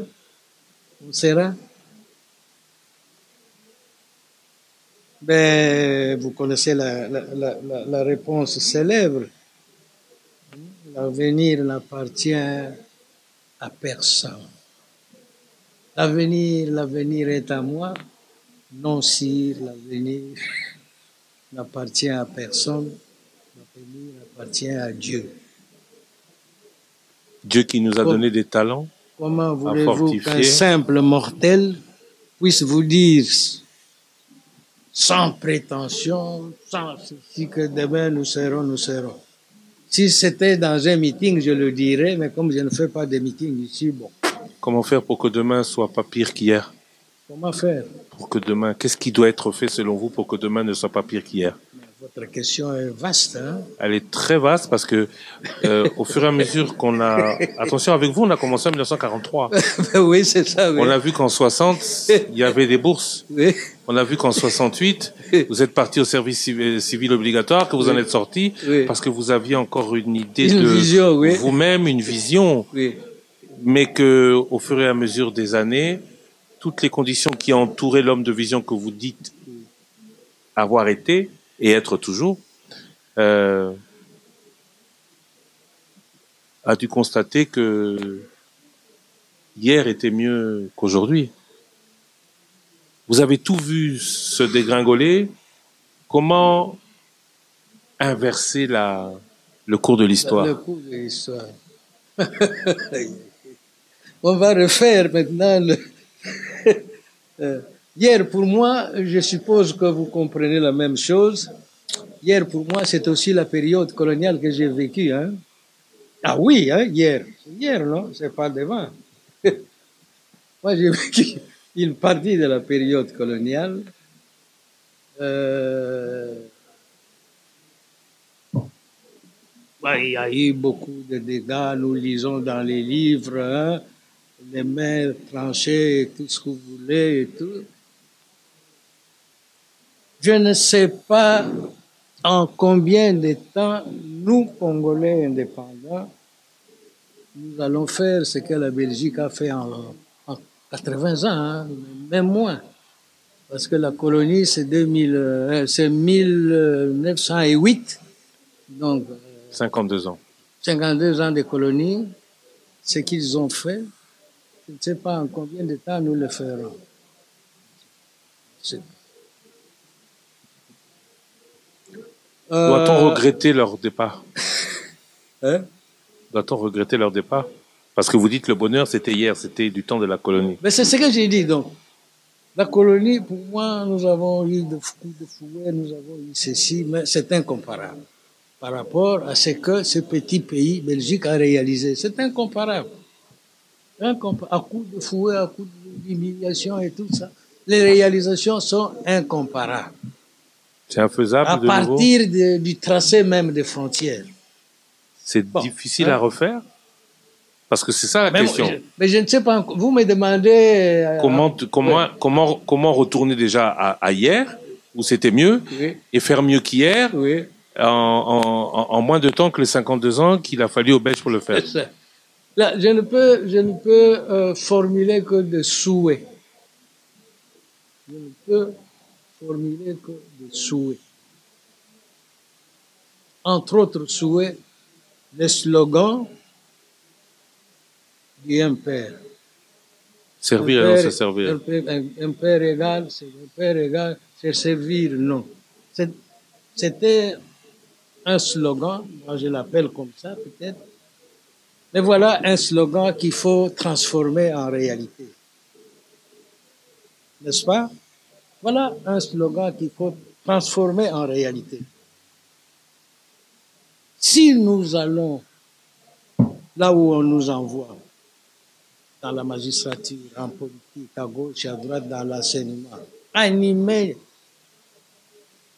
de l'esprit de servir, non seulement animé, mais servir sans esprit de retour, nous allons beaucoup avancer. Nous allons beaucoup avancer. Nous allons beaucoup avancer. Et l'homme, l'homme étant un loup pour l'homme,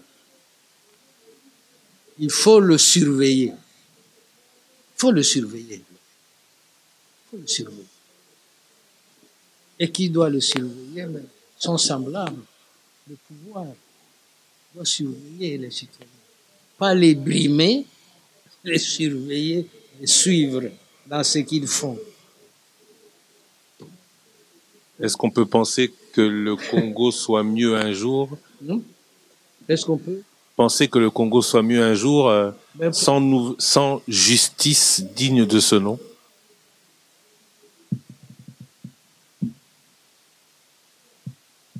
Ça sera, ça sera certainement comme ça. Mais pas sans effort. Là, il faut un effort. Hein. Il faut un effort. Mais nous sommes devenus, moi je suis devenu, je dis providentiel, avec euh, le concours des autres, notamment des enseignants. Notamment des enseignants. Mais comment on a été à l'école? Je venais de l'évoquer, il ne faut pas refaire les choses. Mais on avait une vie de spartiate une vie de spartiate. Ça veut dire quoi? Mais concrètement, vous vous levez à telle heure. À telle heure, il y a, dans le cadre d'un petit séminaire, prière. Après ça, le repas, après le repas, la classe, après la classe, le, le, le, sport, après le sport, on reprend l'après-midi et le soir, et ainsi de suite. Tout est chronométré pendant sept ans. Et ça forme le caractère d'un enfant, ça forme le caractère d'un homme. C'est ça. C'est cet effort-là que euh, on doit faire. Il ne suffit pas de voter des lois. Il faut encore les faire appliquer. Voyez le code de la route. Il n'y a que des bénévoles qui l'appliquent et encore avec des colibés. On, se moque de vous quand vous vous arrêtez devant un feu rouge, alors que vous êtes en train de suivre la loi. Mais on se moque de vous, les chauffeurs vont passer et ils vous injurient. Ah, t'as la. Hein? À ce rythme-là, à ce rythme-là, Maître Tarsis Gabriel Matadiwamba, je vous remercie. merci, c'est moi qui vous dis.